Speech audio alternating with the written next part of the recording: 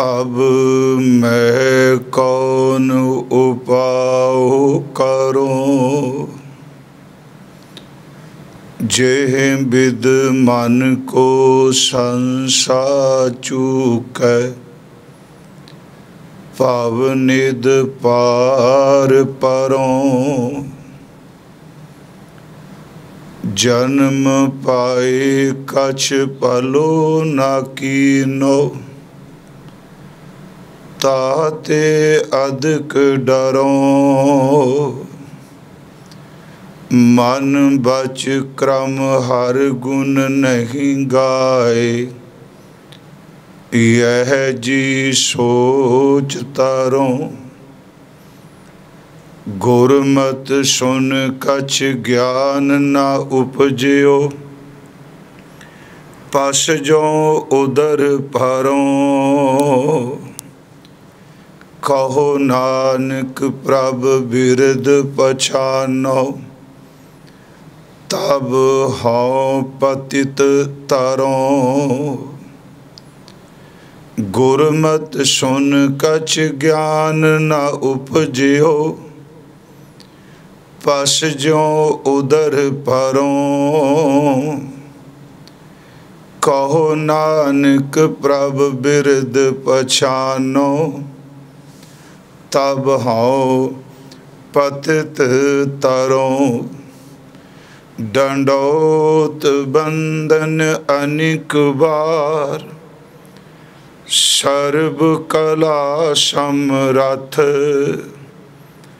ਡੋਲਨ ਤੇ ਰਾਖੋ ਪ੍ਰਭੂ। ਨਾਨਕ ਦੇ ਕਰ ਹੱਥ। ਸਤਨਾਮ। ਧੰਨ ਵਾਖੇ ਗੁਰੂ ਸਾਹਿਬ ਜੀਓ। ਤਰਨਾ ਪੋ ਇਉਂ ਹੀ ਗਇਓ। ਲਿਓ ਜਰਾ ਤਨ ਜੀਤ। ਕਹੋ ਨਾਨਕ ਭਜ ਹਰ ਮਨਾ। ਆਹਦ ਜਾਤ ਹੈ ਬੀਤ। ਤਰਨਾ ਪੋ ਇਉਂ ਹੀ ਗਇਓ। ਲਿਓ ਜਰਾ ਤਨ ਜੀਤ। ਕਹੋ ਨਾਨਕ ਪਜ ਹਰ ਮਨਾ। ਔਦ ਜਾਤ ਹੈ ਬੀਤ। ਬਿਰਦ ਭਇਓ ਸੂਜੈ ਨਹੀਂ। ਕਾਲ ਪਹੁੰਚਿਓ ਆਨ। ਕਹੋ ਨਾਨਕ ਨਰ ਬਾਵਰੇ। ਕਿਉ ਨਾ ਭਜੈ ਭਗਵਾਨ? ਬਿਰਦ ਭਇਓ ਸੂਜੈ ਨਹੀਂ। ਕਾਲ ਪਹੁੰਚਿਓ ਆਨ। ਕਹੋ ਨਾਨਕ ਨਰ ਬਾਬਰੇ ਕਿਉ ਨਾ ਭਜੈ ਭਗਵਾਨ? ਵਾਹਿਗੁਰੂ ਜੀ ਕਾ ਖਾਲਸਾ ਵਾਹਿਗੁਰੂ ਜੀ ਕੀ ਫਤਿਹ ਪਰਮ ਸਨਮਾਨਯੋਗ ਚਵਰ ਸ਼ਤਰ ਤਖਤ ਦੇ ਮਾਲਿਕ ਜੁਗੋ ਜੁਗ ਅਟਲ ਸਾਹਿਬ ਸ੍ਰੀ ਗੁਰੂ ਗ੍ਰੰਥ ਸਾਹਿਬ ਸੱਚੇ ਪਾਤਸ਼ਾਹ ਜੀ ਦੀ ਪਾਵਨ ਪਵਿੱਤਰ ਹਜ਼ੂਰੀ ਔਰ ਆਪਣੇ ਘਰਾਂ ਵਿੱਚ ਬੈਠੇ ਹੋਏ ਦੇਸ਼ ਵਿਦੇਸ਼ ਵਿੱਚ ਸਤਿਗੁਰੂ ਗੁਰੂ ਤੇਗ ਬਹਾਦਰ ਮਹਾਰਾਜ ਜੀ ਦੇ ਇਹਨਾਂ ਅੰਮ੍ਰਿਤ ਬਚਨਾਂ ਨੂੰ ਆਪ ਜੀ ਵਿਚਾਰ ਸੰਯੁਕਤ ਸਰਵਣ ਕਰ ਰਹੇ ਹੋ। ਕੱਲ ਹਜ਼ੂਰ ਦੇ ਆਰੰਭਕ ਦੋ ਸ਼ਲੋਕਾਂ ਦਾ ਪਾਠ ਕੀਤਾ। ਅੱਜ ਉਸ ਤੋਂ ਅਗਲੇ ਦੋ ਸ਼ਲੋਕ। ਇਸ ਦਾ ਪਾਠ ਆਪ ਜੀ ਨੇ ਸਰਵਣ ਕੀਤਾ ਹੈ। ਆਓ ਸਾਧ ਸੰਗਤ। ਦਾਸ ਨੇ ਕੱਲ ਵੀ ਅਰਜ਼ ਕੀਤੀ ਸੀ ਕਿ ਇਨਸਾਨ ਭਾਵੇਂ ਇਕੱਲਾ ਬੈਠ, ਜਿਤਨੀ ਮਰਜ਼ੀ ਕੋਸ਼ਿਸ਼ ਕਰੇ, ਪਰ ਸਤਿਗੁਰਾਂ ਨੇ ਜਿਹੜਾ ਸਤ ਸੰਗਤ ਦੀ ਬਖਸ਼ੀਸ਼ ਸਾਨੂੰ ਦਿੱਤੀ ਹੈ, ਇਸ ਸਤ ਸੰਗਤ ਦੀ ਰਹਿਮਤ ਦਾ ਕੋਈ ਮੁੱਲ ਹੀ ਨਹੀਂ।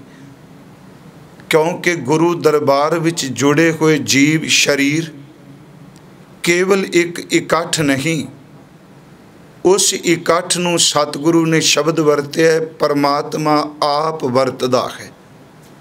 ਜਿਵੇਂ ਅਸੀਂ ਪਾਠ ਸੁਣਨੇ ਖਾਂ ਕਰਦੇ ਖਾਂ ਵਿੱਚ ਸੰਗਤ ਹਰ ਪ੍ਰਭ ਵਸੈ ਜੀਓ। ਭਗਤ ਰਵਿਦਾਸ ਸਾਹਿਬ ਜੀ ਨੇ ਕਿਹਾ, ਸੰਤ ਤੁਜੀ ਤਨ, ਸੰਗਤ ਪ੍ਰਾਨ ਸਤਗੁਰ ਗਿਆਨ ਜਾਣੈ ਸੰਤ ਦੇਵਾ ਦੇਵ।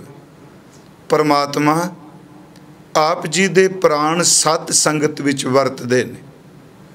ਭਾਵੇਂ ਘਰ ਬੈਠੇ ਸੀ ਵਿਚਾਰ ਕਰ ਰਹੇ ਖਾਂ ਸਤ ਸੰਗਤ ਦਾ ਔਰਾ, ਸਤ ਸੰਗਤ ਦੀ ਬਖਸ਼ੀਸ਼, ਸਤ ਸੰਗਤ ਦੀ ਕਿਰਪਾ, ਉਸ ਦੀ ਬਾਤ ਹੀ ਕੁਝ ਹੋਰ ਹੈ। ਆਓ, ਆਪ ਸੰਗਤ ਦੀ ਸੇਵਾ ਲਈ ਔਰ ਸੰਗਤ ਦੀਆਂ ਅਸੀਸਾਂ ਲਈ ਇਹ ਵਿਚਾਰ ਪ੍ਰਾਰੰਭ ਕੀਤੀ ਹੈ। ਔਰ ਦਾਸ ਖਾਸ ਕਰਕੇ ਅਜ ਆਰਾਮ ਵਿੱਚ ਆਪਣੇ ਸਨਮਾਨਯੋਗ ਬਜ਼ੁਰਗ ਵਿਦਵਾਨ ਸਿੰਘ ਸਾਹਿਬ ਗਿਆਨੀ ਜਸਵੰਤ ਸਿੰਘ ਜੀ ਪਰਵਾਨਾ ਸਾਹਿਬ, ਜਿਹੜੇ ਦਾਸ ਨੂੰ ਫੋਨ ਕਰਕੇ ਵੀ ਸੁਮਤ ਬਖਸ਼ਦੇ ਰਹਿੰਦੇ ਨੇ, ਉਹਨਾਂ ਨੇ ਉਤਸ਼ਾਹਤ ਕੀਤਾ। ਆਓ ਆਪ ਜਿਤਨੇ ਘਰਾਂ ਵਿੱਚ ਬੈਠੇ ਸਰਵਣ ਕਰ ਰਹੇ ਹੋ, ਅਸੀਸ ਬਖਸ਼ੋ। ਗੁਰੂ ਤੇਗ ਬਹਾਦਰ ਸੱਚੇ ਪਾਤਸ਼ਾਹ, ਆਪ ਜੀ ਆਪ ਵਿੱਚ ਵਰਤ ਕੇ ਅੰਦਰ ਦਾ ਟਿਕਾ ਬਖਸ਼ੋ।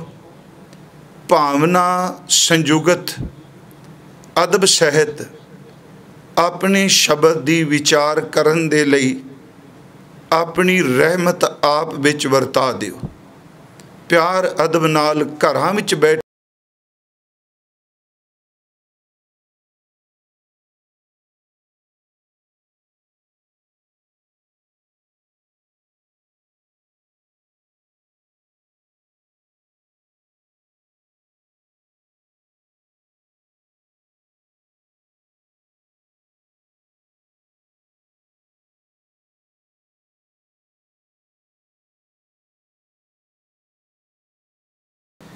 ਪਹਿਲੇ ਸ਼ਲੋਕ ਦੇ ਅੰਦਰ ਸਤਿਗੁਰਾਂ ਨੇ ਇਸ ਇਨਸਾਨ ਨੂੰ, ਇਸ ਮਨੁੱਖ ਨੂੰ ਇਹ ਸੁਮਤ ਦਿੱਤੀ ਕਿ ਜਿਸ ਵਾਸਤੇ ਇਹ ਮਾਨਵ ਸਰੀਰ ਪ੍ਰਾਪਤ ਹੋਇਆ ਇਸ ਮਨੁੱਖਾ ਦੇਹੀ ਦਾ ਅਸਲੀ ਮਕਸਦ ਉਸ ਪਰਮ ਸੱਤ ਦੇ ਵਿੱਚ ਅਭੇਦ ਹੋਣਾ ਹੈ।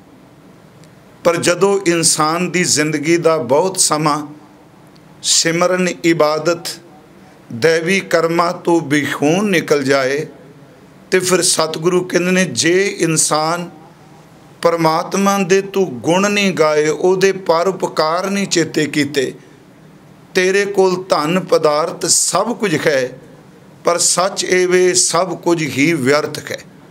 ਕੱਲ ਅਸੀਂ ਹਜ਼ੂਰ ਦਾ ਇਹ ਬਚਨ ਵਿਚਾਰਿਆ ਸੀ, ਕਿਉਂਕਿ ਲੜੀ ਨੂੰ ਆਪਾਂ ਜੋੜ ਕੇ ਅੱਗੇ ਤੁਰਾਂਗੇ।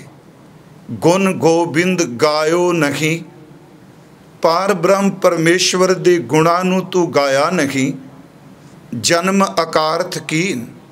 ਐਸ ਕੀਮਤੀ ਮਨੁੱਖਾ ਜਨਮ ਨੂੰ ਤੂੰ ਅਜਾਈ ਗਵਾ ਦਿੱਤਾ, ਕਿਸੇ ਅਰਥ ਨਹੀਂ ਆਇਆ। ਫਿਰ ਸਤਿਗੁਰੂ ਨੇ ਇੱਕ ਬਖਸ਼ਿਸ਼ ਕੀਤੀ। ਆਪਾਂ ਦੇਖਾਂਗੇ ਜਿੱਥੇ ਮਨੁੱਖ ਦੀ ਅਗਿਆਨਤਾ ਦੀ, ਹੀਣਤਾ ਦੀ, ਇਹਦੀ ਕਮਜ਼ੋਰੀ ਦੀ, ਇਹਦੇ ਔਗਣ ਦੀ ਜਾਂ ਇਹਦੀ ਢੈਂਦੀ ਕਲਾ ਦੀ ਸੁਰਤ ਦਾ ਜ਼ਿਕਰ ਮਹਾਰਾਜ ਕਰਨਗੇ। ਉੱਥੇ ਸੱਚ ਏਵੇਂ ਸੀ 'ਚ ਡੁੱਬੇ ਹੋਏ ਨੂੰ ਫਿਰ ਦੁਬਾਰਾ ਉਹਦੀ ਸੁਰਤ ਨੂੰ ਉੱਚਿਆ ਚੁੱਕਣ ਵਾਸਤੇ ਸਤਿਗੁਰੂ ਸਾਨੂੰ ਸ਼ਬਦ ਨਾਲ ਬਹੁਤ ਵੱਡਾ ਤਿਰਵਾਸ ਦਿੰਦੇ ਆ। ਕੱਲ ਇੱਕ ਕਹਿ ਰਹੇ ਨੇ, ਜਨਮ ਆਕਾਰਤ ਚਲਾ ਗਿਆ। ਪਰ ਨਾਲ ਹੀ ਫਿਰ ਇੱਕ ਬਚਨ ਅੱਗੇ ਕਹਿ ਦਿੱਤਾ, ਹੁਣ ਇੱਕ ਕੰਮ ਕਰ। ਗੁਣ ਗੋਬਿੰਦ ਗਾਇਓ ਨਹੀਂ, ਜਨਮ ਆਕਾਰਤ ਕੀਨ, ਕਉ ਨਾਨਕ ਹਾਰ ਭਜ ਮਨਾ, ਜੇ ਬਿਦ ਜਲ ਕੋ ਮੀਨ।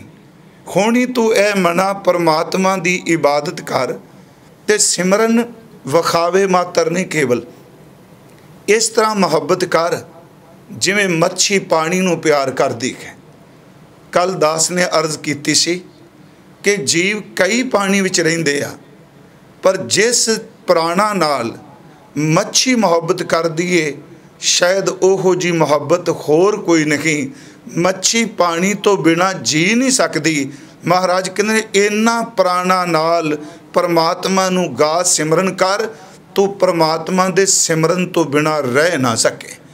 ਮਹਾਰਾਜ ਜੀ ਨੇ ਦੂਸਰਾ ਬਚਨ ਜਿਹੜਾ ਕੀਤਾ, ਉਸ ਦੀ ਵਿਚਾਰ ਅਸੀਂ ਅੱਧਾ ਹਿੱਸਾ ਕਰ ਚੁੱਕੇ ਸਾਂ। ਉਹ ਹੈ, ਵਿਖਿਆਨ ਸਿਉ ਕਾਹੇ ਰਚਿਓ, ਨਿਮਖ ਨਾ ਹੋ ਹੈ ਉਦਾਸ। ਮਹਾਰਾਜ ਦੇ ਕਲ ਸ਼ਬਦ ਨੇ ਵਿਖ, ਅਸੀਂ ਅਰਥ ਕੀਤਾ ਸੀ ਜ਼ਹਿਰ। ਇਹ ਇਨਸਾਨ ਤੋ ਇਹਨਾਂ ਵਿਸ਼ੇ ਵਕਾਰਾਂ ਵਿੱਚ ਕਿਉਂ ਲੁਪਤ ਹੈ, ਕਿਉਂ ਰਚਿਆ ਹੈ? ਕਦੀ ਇੱਕ ਨਿਮਕ ਜਿਤਨਾ ਸਮਾਂ, ਅੱਖ ਝਮਕਣ ਜਿਤਨਾ ਸਮਾਂ, ਤੂੰ ਇਸ ਵਾਸ਼ਨਾ ਤੋਂ ਉਪਰਾਮ ਹੋ ਕੇ ਦੇਖ।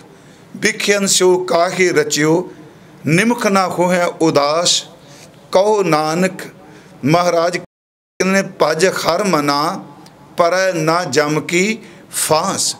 ਇੱਕ ਨਿਮਖ ਜਿਤਨਾ ਸਮਾਂ ਤੂੰ ਨਰਲੇਪ ਹੋ ਵਾਸ਼ਨਾ ਤੂੰ, ਹਰੀ ਪਰਮਾਤਮਾ ਦਾ ਸਿਮਰਨ ਕਰ, ਤੇਰੇ ਗਲ ਵਿੱਚ ਜਮਾਂ ਦੀ ਫਾਈ ਨਹੀਂ ਪੈਗੀ ਦੇਖੋ, ਸਤਿਗੁਰਾਂ ਨੇ ਇਹ ਜਿਹੜਾ ਸਰੀਰ ਸਾਨੂੰ ਪਰਮਾਤਮਾ ਨੇ ਬਖਸ਼ਿਸ਼ ਕੀਤਾ ਹੈ ਇਸ ਕੋਈ ਸ਼ੱਕ ਨਹੀਂ। ਇਸ ਮਾਨਵੀ ਸਰੀਰ ਪੰਜਾਂ ਤੱਤਾਂ ਦੀ ਜੜਤ ਪਰਮਾਤਮਾ ਨੇ ਕੀਤੀ ਹੈ। ਤੇ ਇਹਨਾਂ ਪੱਚਾ ਪੰਜਾਂ ਤੱਤਾਂ ਦੀ ਜੜਤ ਵਿੱਚ ਇਸ ਸਰੀਰ ਵਿੱਚ ਛਠਮ ਆਪ ਅਦ੍ਰਿਸ਼ਟ ਹੋ ਕੇ ਬੈਠਾ ਹੋਇਆ ਹੈ। ਕਰਤਾ ਆਪ ਇਸ ਵਿੱਚ ਵਰਤ ਰਿਹਾ ਹੈ। ਪਰ ਜਿੱਥੇ ਪੰਜ ਤੱਤ ਨੇ, ਉਥੇ ਪਰਮੇਸ਼ਵਰ ਨੇ ਸਾਨੂੰ ਪੰਜ ਗਿਆਨ ਇੰਦਰੀ ਦਿੱਤੇ ਆ। ਪੰਜਾਂ ਤੱਤਾਂ ਦੇ ਪੰਜ ਗੁਣ ਨੇ ਥੋੜੀ ਜੀ ਵਿਆਖਿਆ ਕਿ ਵਿਖਿਆਨ ਸਿਓ ਕਾਹੇ ਰਚਿਓ।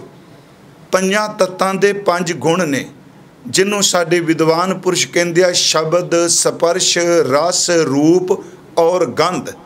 ਇਹ ਪੰਜ ਤੱਤ ਨੇ, ਇਹ ਪੰਜ ਤੱਤਾਂ ਦੇ ਗੁਣ ਨੇ।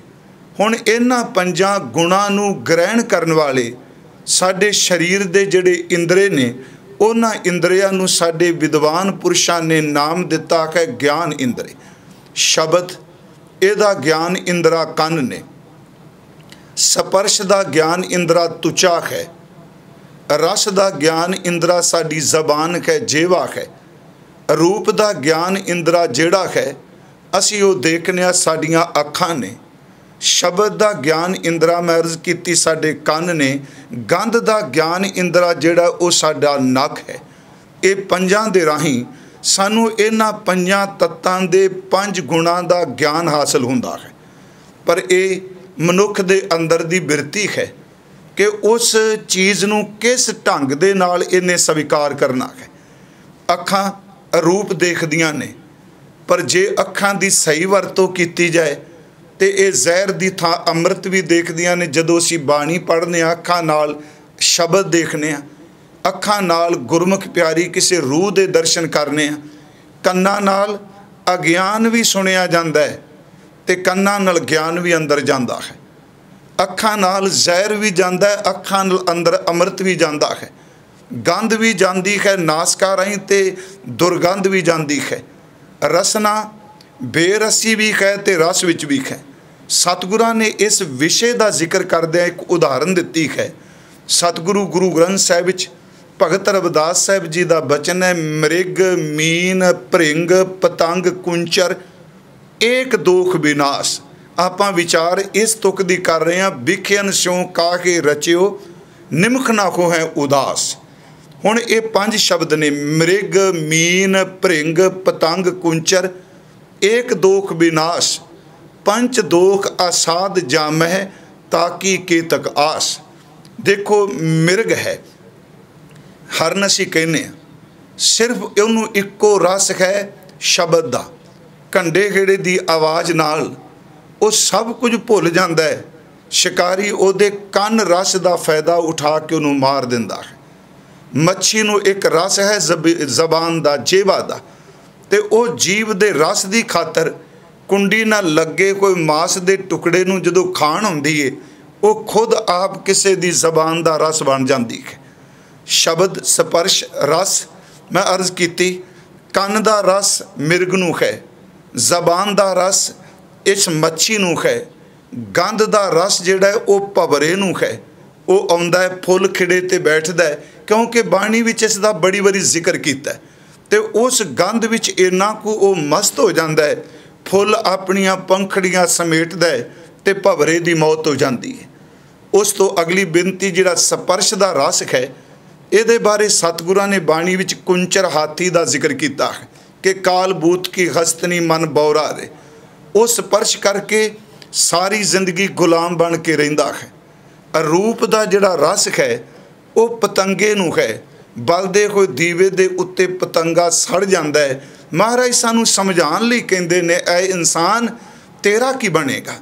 ਮਿਰਗ ਨੂੰ ਸਿਰਫ ਕੰਨ ਰਸ ਹੈ ਮੱਛੀ ਨੂੰ ਜੀਵ ਦਾ ਰਸ ਹੈ ਭਵਰੇ ਨੂੰ ਨਾਸਕਾ ਦਾ ਰਸ ਹੈ ਅਸੀਂ ਪਤੰਗੇ ਨੂੰ ਦੇਖਦੇ ਹਾਂ, ਇਹ ਰੂਪ ਦਾ ਰਸ ਹੈ ਇਹ ਇੱਕ ਇੱਕ ਜੀਵ ਜਿਹੜਾ ਹੈ, ਇਹ ਇੱਕ ਇੱਕ ਰਸ ਦੀ ਖਾਤਰ ਇੱਕ ਇੱਕ ਇੰਦਰੇ ਨੇ ਇਹਨਾਂ ਦੀ ਜ਼ਿੰਦਗੀ ਤਬਾਹ ਕਰ ਦਿੱਤੀ। ਇਨਸਾਨ ਤੇਰਾ ਕੀ ਬਣੇਗਾ? ਤੇਰੇ ਇਕੱਲੇ ਵਿੱਚ ਹੀ ਪੰਜ ਵਰਦੇ ਪਏ ਤੂੰ ਹਰ ਵਕਤ ਇਹਦੇ ਵਿੱਚ ਖਚਤ ਖੈ ਸਤਿਗੁਰਾਂ ਦਾ ਬਚਨ, ਮ੍ਰਿਗ, ਮੀਨ, ਭ੍ਰਿੰਗ, ਪਤੰਗ, ਕੁੰਚਰ। ਏਕ ਦੋਖ ਵਿਨਾਸ਼ ਪੰਚ ਦੋਖ ਆਸਾਦ ਜਾਮੈ, ਤਾਕੀ ਕੇਤਕ ਆਸ। ਤੇਰੀ ਕੀ ਆਸ ਹੈ? ਅਸਾਦ ਅਰਥ ਜਿਹੜੇ ਸਾਧੇ ਨਾ ਜਾ ਸਕਣ, ਕਾਬੂ ਨਾ ਆ ਸਕਣ, ਇਲਾਜ ਨਾ ਹੋ ਸਕੇ। ਹਜ਼ੂਰ ਕਹਿੰਦੇ ਨੇ, ਤੂੰ ਵਾਸ਼ਨਾ ਵਿੱਚ ਲੁਭਤ ਹੈ। ਇੱਥੇ ਇੱਕ ਹੋਰ ਬੇਨਤੀ। ਦੇਖੋ ਸਤਿਗੁਰਾਂ ਦੀ ਬਾਣੀ ਜਦੋਂ ਅਸੀਂ ਪੜ੍ਹਨੇ ਅੱਜ ਵੀ ਸਿੰਘ ਸਾਹਿਬ ਕਹਿ ਰਹੇ ਸਨ, ਆਪੋ ਆਪਣਾ ਤਰੀਕਾ ਹੈ ਵਿਆਖਿਆ ਕਰਨ ਦਾ। ਕਿਉਂਕਿ ਇਨਸਾਨ ਦੇ ਅੰਦਰ ਜੋ ਕੁਝ ਹੁੰਦਾ ਹੈ, ਉਹ ਯਤਨ ਕਰਦਾ ਹੈ, ਆਪਣੀ ਗੱਲ ਨੂੰ ਸ਼ਬਦ ਦੇ ਰਾਹੀਂ ਘੁਮਾ ਫਿਰਾ ਜਾਂਦਾ ਹੈ, ਸ਼ਬਦ ਕਈ ਵਾਰੀ ਪਿੱਛੇ ਛੱਡ ਜਾਂਦਾ ਹੈ। ਭਾਰਤ ਵਿੱਚ ਇੱਕ ਬਹੁਤ ਵੱਡੇ ਵਿਦਵਾਨ ਹੋਏ ਨੇ। ਮੈਂ ਉਹਨਾਂ ਬਾਰੇ ਇੱਕ ਸ਼ਬਦ ਸੁਣਿਆ, ਉਹਨਾਂ ਦਾ ਪੜਿਆ ਉਹਨਾਂ ਨੇ ਬਹੁਤ ਸਾਰੇ ਧਰਮਾਂ ਦਾ ਮੁਤਾਲਿਆ ਕੀਤਾ, ਉਹ ਹਜ਼ਾਰਾਂ ਘੰਟੇ ਬੋਲੇ, ਪੜ੍ਹੇ ਲਿਖੇ ਲੋਕਾਂ ਨੂੰ ਨਾ ਬਹੁਤ ਪ੍ਰਭਾਵਿਤ ਕੀਤਾ। ਇਹ ਗੱਲ ਉਹ ਆਪਣੀ ਇੱਕ ਲੈਕਚਰ ਕਹਿੰਦਾ, ਖੁੰਟੀ ਕਿਸੇ ਕੀ ਵੀ ਹੋ, ਕੋਟ ਮੈਂ ਆਪਣਾ ਹੀ ਉਤਾਰੂੰਗਾ। ਬੜੀ ਗੱਲ ਉਹਨੇ ਆਪਣਾ ਆਪਣਾ ਅੰਦਰ ਦੱਸ ਦਿੱਤਾ। ਉਹ ਕਹਿੰਦਾ, ਖੁੰਟੀ ਕਿਸੇ ਕੀ ਵੀ ਹੋ, ਕੋਟ ਮੈਂ ਆਪਣਾ ਉਤਾਰੂੰਗਾ। ਇਸ ਦਾ ਮਤਲਬ ਕਿੱਲੀ ਕੋਈ ਵੀ ਹੋਵੇ, ਕਿੱਲੀ ਗੁਰੂ ਨਾਨਕ ਦੇ ਸ਼ਬਦ ਦੀ ਹੋਵੇ ਕਿੱਲੀ ਮਹਾਤਮਾ ਬੁੱਧ ਦੇ ਦੰਪਤ ਦੀ ਹੋਵੇ, ਕਿੱਲੀ ਭਾਵੇਂ ਗੀਤਾ ਕ੍ਰਿਸ਼ਨ ਜੀ ਦੀ ਹੋਵੇ, ਕਿੱਲੀ ਭਾਵੇਂ ਵੇਦਾਂ ਦੀ ਹੋਵੇ, ਮੈਂ ਕਿੱਲੀ ਜ਼ਰੂਰ ਵਰਤਾਂਗਾ, ਪਰ ਮੈਂ ਗੱਲ ਆਪਣੇ ਹੀ ਕਰਕੇ ਜਾਵਾਂਗਾ। ਕਈ ਵਾਰੀ ਅੱਜ ਤਰਾਸਦੀ ਹੈ, ਵੇਖਨੇ ਖਾਂ ਕਿ ਕਿੱਲੀ ਲੋਕ ਵਰਦੇ ਪਏ ਆ। ਮੈਂ ਸਿਰਫ ਕਿਸੇ ਦੁਵੈਸ਼ ਚ ਨਹੀਂ, ਇਹ ਬੇਨਤੀ ਕਰਨੀ ਚਾਹਨਾ ਕਿ ਗੁਰੂ ਗ੍ਰੰਥ ਸਾਹਿਬ ਸਮੱਸਿਆ ਦੱਸਦੇ ਆ, ਫਿਰ ਸਮੱਸਿਆ ਦਾ ਸਮਾਧਾਨ ਦੱਸਦੇ ਆ। ਗੁਰੂ ਗ੍ਰੰਥ ਸਾਹਿਬ ਪ੍ਰਸ਼ਨ ਪੈਦਾ ਕਰਦੇ ਆ, ਫਿਰ ਪ੍ਰਸ਼ਨ ਦਾ ਉੱਤਰ ਦਿੰਦੇ ਆ। ਗੁਰੂ ਗ੍ਰੰਥ ਸਾਹਿਬ ਮਹਾਰਾਜ ਬਿਮਾਰੀ ਦੱਸਦੇ ਆ ਤੇ ਬਿਮਾਰੀ ਦਾ ਇਲਾਜ ਨਾਲ ਦੱਸਦੇ ਆ, ਅੱਜ ਅਸੀਂ ਸਮੱਸਿਆ, ਪ੍ਰਸ਼ਨ ਤੇ ਬਿਮਾਰੀ ਤੇ ਗੱਲ ਖੜੀ ਕਰਕੇ ਘਰਾਂ ਨੂੰ ਚਲੇ ਜਾਂਦੇ ਆ। ਮਹਾਰਾਜ, ਇਹ ਆਪ ਜੀ ਨੇ ਕਿਹਾ ਕਿ ਵਿਖਿਆਨ ਸੋ ਕਾਹੇ ਰਚਿਓ, ਨਿਮਖ ਨਾ ਹੋਇਆ ਉਦਾਸ। ਤੂੰ ਵਾਸ਼ਨਾ ਵਿੱਚ ਲੁਪਤ ਹੈ ਇਸ ਤੋਂ ਬਚ ਜਾ। ਤੇ ਇੱਥੇ ਨਿਮਕ ਜਿਤਨਾ ਸਮਾਂ ਕਿਆ ਮਹਾਰਾਜ ਜੀ? ਤੇ ਦਾਸ ਇੱਕ ਬੇਨਤੀ ਕਰੇ, ਇਸ ਨਿਮਕ ਦਾ ਅਰਥ ਕੇਵਲ ਥੋੜਾ ਵਕਤ ਨਹੀਂ, ਮੈਂ ਵਕਤ ਵੈਸੇ ਹੀ ਕਰਾਂਗਾ ਥੋੜਾ ਸਮਾਂ। ਨਹੀਂ, ਜ਼ਿੰਦਗੀ ਪਲਟਣ ਵਾਸਤੇ ਨਿਮਕ ਹੀ ਬਹੁਤ ਵੱਡੀ ਚੀਜ਼ ਹੈ। ਇਹਨੂੰ ਛਿੰਨ ਕਹਿੰਦੇ ਆ। ਜ਼ਿੰਦਗੀ ਵਿੱਚ ਛਿੰਨ ਦੀ ਬਹੁਤ ਵੱਡੀ ਥਾਂ ਹੈ ਜੀ। ਇੱਕ ਛਿੰਨ ਹੁੰਦਾ ਜਦੋਂ ਮਾਂ ਦੇ ਉਦਰ ਚ ਨਿਵਾਸ ਮਿਲਦਾ ਹੈ। ਇੱਕ ਛਿੰਨ ਜ਼ਿੰਦਗੀ ਚ ਆਉਂਦਾ ਜਦੋਂ ਕਿਤੇ ਜਾਗਦੀ ਹੋਈ ਸੁਰਤ ਸਾਡੀ ਸੁੱਤੀ ਹੋਈ ਸੁਰਤ ਨੂੰ ਜਗਾ ਕੇ ਚਲੀ ਜਾਂਦੀ ਹੈ। ਜ਼ਿੰਦਗੀ 'ਚ ਇੱਕ ਛਿਨ ਆਉਂਦਾ ਜਦੋਂ ਬੰਦਾ ਫੈਸਲਾ ਕਰਦਾ ਹੈ ਤੇ ਉਹ ਰਸਾਤਲ ਵਿੱਚ ਵੀ ਡਿੱਗ ਪੈਂਦਾ ਹੈ ਤੇ ਇੱਕ ਖਿੰਨ ਦਾ ਕੀਤਾ ਹੋਇਆ ਫਾਸਲਾ, ਫੈਸਲਾ ਇਨਸਾਨ ਨੂੰ ਉੱਚੇ ਰੁਤਬੇ ਤੇ ਵੀ ਪਹੁੰਚਾ ਦਿੰਦਾ ਹੈ। ਹੀ ਆਉਂਦਾ ਹੈ ਜਦੋਂ ਇਨਸਾਨ ਦੇ ਅੰਦਰੋਂ ਸਵਾਸ ਨਿਕਲ ਜਾਂਦੇ ਆ। ਇਸ ਨਿਮਖ ਦੇ ਅਰਥ ਮੈਂ ਇਹ ਨਹੀਂ ਕਰਾਂਗਾ ਕਿ ਉਸ ਨਿਮਖ ਤੋਂ ਬਾਅਦ ਫਿਰ ਬੰਦਾ ਵਿਸ਼ਿਆਂ 'ਚ ਲੁਪਤ ਹੋ ਗਿਆ। ਨਹੀਂ, ਉਹ ਨਿਮਖ ਹੈ ਕਿ ਤੂੰ ਖਚਤ ਖੈ, ਤੂੰ ਥੋੜਾ ਜਿਹਾ ਸਮਾਂ ਇੱਕ ਯਤਨ ਕਰ, ਇਸ ਵਾਸ਼ਨਾ ਤੋਂ ਮੁਕਤ ਹੋ ਸਕੇ ਪਰ ਕਿਵੇਂ ਹੋਵੇਂ? ਕਹਿਣਾ ਤਾਂ ਬਹੁਤ ਸੌਖਾ ਹੈ। ਕਿਵੇਂ ਹੋ ਜਾਏ? ਅਸੀਂ ਆਮ ਕਹਿ ਦਿੰਦੇ ਆ ਕਿ ਬੁੱਲੇ ਨੂੰ ਪੁੱਛਿਆ ਅਨਾਇਤ ਸ਼ਾਹ ਨੂੰ, ਆਪਣੇ ਮੁਰਸ਼ਿਦ ਨੂੰ, ਉਹਨਾਂ ਇੱਕੋ ਗੱਲ ਕਹੀ, ਬੁੱਲਿਆ, ਰੱਬ ਦਾ ਕੀ ਪਾਣਾ? ਇਧਰੋਂ ਪਟਨਾ ਤੇ ਇਧਰ ਲਾਣਾ। ਇਹ ਸ਼ਬਦ ਅਕਸਰ ਸੁਣਨੇ। ਇਧਰੋਂ ਪਟਨਾ, ਇਧਰ ਲਾਣਾ। ਯਾਦ ਰੱਖੋ, ਪਹਿਲੀ ਗੱਲ ਤੇ ਪੱਟੀ ਨਹੀਂ ਜਾਂਦਾ। ਲਾਣ ਦਾ ਯਤਨ ਕਰਨੇ ਆ। ਇਹ ਫਿਰ ਉਸ ਵਿੱਚ ਖਚਤ ਹੋ ਜਾਂਦਾ ਵਾਸ਼ਨਾ ਵਿੱਚ। ਹਾਂ, ਇੱਕ ਮੈਂ ਬੇਨਤੀ ਕਰਾਂਗਾ ਕਿ ਬਜਾਏ ਇਹ ਕਿ ਤੂੰ ਐਸ ਪਾਪ ਤੋਂ ਬਚ ਐਸ ਔਗਣ ਤੋਂ ਬਚ ਇਹਨੂੰ ਬਾਣੀ ਦੀ ਸੇਧ ਵਿੱਚ ਐ ਲੈ ਲਈਏ ਕਿ ਮੈਂ ਸਿਮਰਨ ਵਿੱਚ ਕਿਵੇਂ ਜੁੜਨਾ ਹੈ। ਮੈਂ ਗੁਰੂ ਦੀ ਬਾਣੀ ਦਾ ਨੇਮ ਕਿਵੇਂ ਨਿਭਾ ਸਕਣਾ ਮੈਂ ਸਤਿਗੁਰੂ ਦੀ ਸੇਵਾ ਕਿਵੇਂ ਕਰ ਸਕਣਾ ਵਾਂ? ਇਹਦੀ ਸਿੱਧੀ ਜੀ ਬਾਤ, ਵਾਸ਼ਨਾ ਵਿੱਚ ਲੁਪਤ ਹੋਇਆ ਚਿੱਤ, ਜੇ ਤੂੰ ਇਹ ਫੁਰਨੇ ਬਣਾਏ, ਮੈਂ ਸਿਮਰਨ ਨਾਲ ਕਿਵੇਂ ਜੁੜਨਾ ਹੈ? ਇੱਕ ਨਿਮਖ ਜ਼ਿੰਦਗੀ ਚੋਂ ਆਏਗਾ, ਸੱਚ ਇਹ ਵੇ ਕਿ ਸਾਰੀ ਜ਼ਿੰਦਗੀ ਦੇ ਪਾਪਾਂ ਨੂੰ ਧੋ ਕੇ ਚਲਾ ਜਾਏਗਾ। ਚਿੰਗਾੜੀ, ਆ ਮਾਚਿਸ ਦੀ ਜਿਹੜੀ ਤੀਲੀ ਹੈ ਉਹਦਾ ਮਸਾਲਾ ਕਿੰਨਾ ਹੈ? ਥੋੜਾ ਜਿਹਾ ਮਸਾਲਾ ਹੈ, ਉਹ ਇੱਕ ਤੀਲੀ ਹਜ਼ਾਰਾਂ ਮਨ ਲੱਕੜਾਂ ਨੂੰ ਸਾੜ ਦਿੰਦੀ ਏ। ਜ਼ਿੰਦਗੀ 'ਚ ਇੱਕ ਨਿਮਕ ਕਿਤੇ ਜਾਗੀ ਕੋਈ ਸੁਰਤ ਦੀ ਸੰਗਤ ਮਿਲ ਗਈ ਤੇ ਕਰੋੜਾਂ ਜਨਮਾਂ ਦੇ ਪਾਪ ਸਾੜ ਕੇ ਰੱਖ ਦੇਵੇਗੀ। ਮੈਂ ਬੇਨਤੀ ਕਰਾਂ ਕਿ ਉਹ ਨਿਮਕ, ਫਿਰ ਅਗਲੀ ਗੱਲ, ਇਹ ਜਿਹੜੇ ਇੰਦਰੇ ਨੇ, ਜਿਹੜੇ ਖਚਤ ਨੇ, ਇਹ ਸੱਚੀ ਮੁੱਚੀ ਸਾਡੇ ਮਿੱਤਰ ਬਣ ਜਾਂਦੇ ਆ। ਸਿਰਫ ਤਿੰਨ ਕੁ ਉਦਾਹਰਨਾਂ ਦੇ ਕੇ ਸਿੱਧੀ ਜੀ ਬਾਤ ਅਟੈਚਮੈਂਟ ਹੀ ਡਿਟੈਚਮੈਂਟ ਪੈਦਾ ਕਰੇਗੀ। ਜੁੜਾਂਗੇ ਤੇ ਟੁੱਟਾਂਗੇ। ਜੇ ਆਪਾਂ ਸਿਰਫ ਟੁੱਟਣ ਟੁੱਟਣ ਦੀ ਬਾਤ ਕਰਾਂਗੇ, ਜੁੜ ਨਹੀਂ ਸਕਾਂਗੇ। ਦੇਖੋ, ਬਾਬਾ ਲੈਣਾ ਜੀ, ਜਵਾਲਾ ਜੀ ਦੇ ਜਾਂਦੇ ਆ। ਉਹ ਸਾਰੀ ਸਾਰੀ ਰਾਤ ਜਗਰਾਤੇ ਚ ਆਪ ਉਹ ਮਾਤਾ ਦੀਆਂ ਭੇਟਾਂ ਪੜਦੇ ਆ। ਪਰ ਇੱਕ ਪੌੜੀ ਸੁਣੀ, ਜਿਤ ਸੇਵਿਆਂ ਸੁਖ ਪਾਈਐ, ਸੋ ਸਾਹਿਬ ਸਦਾ ਸੰਭਾਲੀਐ, ਜਿਤ ਕੀਤਾ ਪਾਈਐ ਆਪਣਾ ਸਾਕਾਲ ਬੁਰੀ ਕਿਉਂ ਘਾਲੀਐ ਆਖਰ ਉਹ ਜ਼ਿੰਦਗੀ 'ਚ ਕਿਹੜਾ ਨਿਮਖ ਆਇਆ ਉਹ ਸਮਾਂ ਆਇਆ ਕਿ ਸੱਚੀ ਮੁੱਚੀ ਉਸ ਉਪਰਾਮਤਾ ਨੇ, ਉਸ ਨਿਮਖ ਨੇ ਗੁਰੂ ਨਾਨਕ ਸਾਹਿਬ ਦੇ ਦਰ ਦਾ ਬਣਾ ਕੇ ਰੱਖ ਦਿੱਤਾ। ਜਦੋਂ ਉਥਰ ਗਏ, ਬਾਕੀ ਆਪਣੇ ਆਪ ਹੀ ਛੁੱਟ ਗਿਆ। ਇਸ ਕਰਕੇ ਮੈਂ ਬੇਨਤੀ ਕਰਾਂਗਾ, ਜੁੜਾਂਗੇ ਤੇ ਚਿੱਤ ਇਧਰੋਂ ਟੁੱਟੇਗਾ ਆਪਣੇ ਆਪ। ਜੁੜਨ ਤੋਂ ਬਿਨਾ ਗੱਲਾਂ ਨਾਲ ਚਿੱਤ ਨਹੀਂ ਜੁੜ ਟੁੱਟਣਾ। ਇੱਕ ਉਦਾਹਰਨ ਹੈ। ਇੱਕ ਬੱਚੀ ਮਾਪਿਆਂ ਦੇ ਘਰ 'ਚ 21 22 23 24 ਸਾਲ ਤੱਕ ਰਹਿੰਦੀ ਹੈ। ਉਦਾਹਰਨ ਸਮਝ ਲਈ। ਉਹਦੀ ਸ਼ਾਦੀ ਹੋ ਜਾਏ। ਉਹ ਪਤੀ ਦੇ ਘਰ ਚਲੀ ਜਾਏ। ਆਪਣੇ ਪਤੀ ਦੇ ਮਿਲਾਪ ਦਾ ਸੁਖ ਮੰਨ ਲੈ ਤੇ ਸੱਚ ਇਹ ਵੇ ਕਿ ਉਹ ਘਰ ਆਉਣ ਲੱਗਿਆਂ ਪਹਿਲਾਂ ਜਦੋਂ ਮਾਂ ਤੋਂ ਦੂਰ ਜਾਂਦੀ ਸੀ, ਰੋਂਦੀ ਸੀ, ਹੁਣ ਉਹ ਪਤੀ ਦਾ ਘਰ ਛੱਡਦੀ ਏ ਤੇ ਬਿਰਹਾ ਵਿੱਚ ਆਉਂਦੀ ਏ ਪਿਆਰਿਓ, ਸੱਚ ਇਹ ਵੇ ਕਿ ਜਿੱਦਨ ਸੁਰਤ ਗੁਰੂ ਨਾਨਕ ਦੇ ਸ਼ਬਦ ਨਾਲ ਜੁੜੇਗੀ ਵਾਸ਼ਨਾ ਵਾਲਾ, ਸੁਰਤ ਵਾਲਾ ਪਾਸਾ ਆਪਣੇ ਆਪ ਹੀ ਢਿੱਲਾ ਪੈ ਜਾਏਗਾ। ਸਤਿਗੁਰੂ ਨੇ ਤਿੰਨ ਬਚਨ ਕਹੇ ਆ ਕਿ ਜੇ ਤੂੰ ਮੁਕਤ ਹੋਣਾ ਵਿਸ਼ੇ ਤੋਂ, ਸੁਖਮਨੀ ਸਾਹਿਬ ਦੇ ਤਿੰਨ ਬਚਨ, ਮਿੱਥਿਆ ਨਾਹੀ ਰਸਨਾ ਪਰਸ਼, ਮਨ ਮੈਂ ਪ੍ਰੀਤ ਨਿਰੰਜਨ ਦਰਸ਼, ਪਰ ਤੇਰੇ ਰੂਪ ਨਾ ਪੇਖੈ ਨੇਤਰ, ਸਾਧ ਕੀ ਟੈਲ ਸੰਤ ਸੰਗੀਤ, ਇਹ ਕਿਉਂ ਉਦਾਹਰਨ ਲਈ ਹੈ?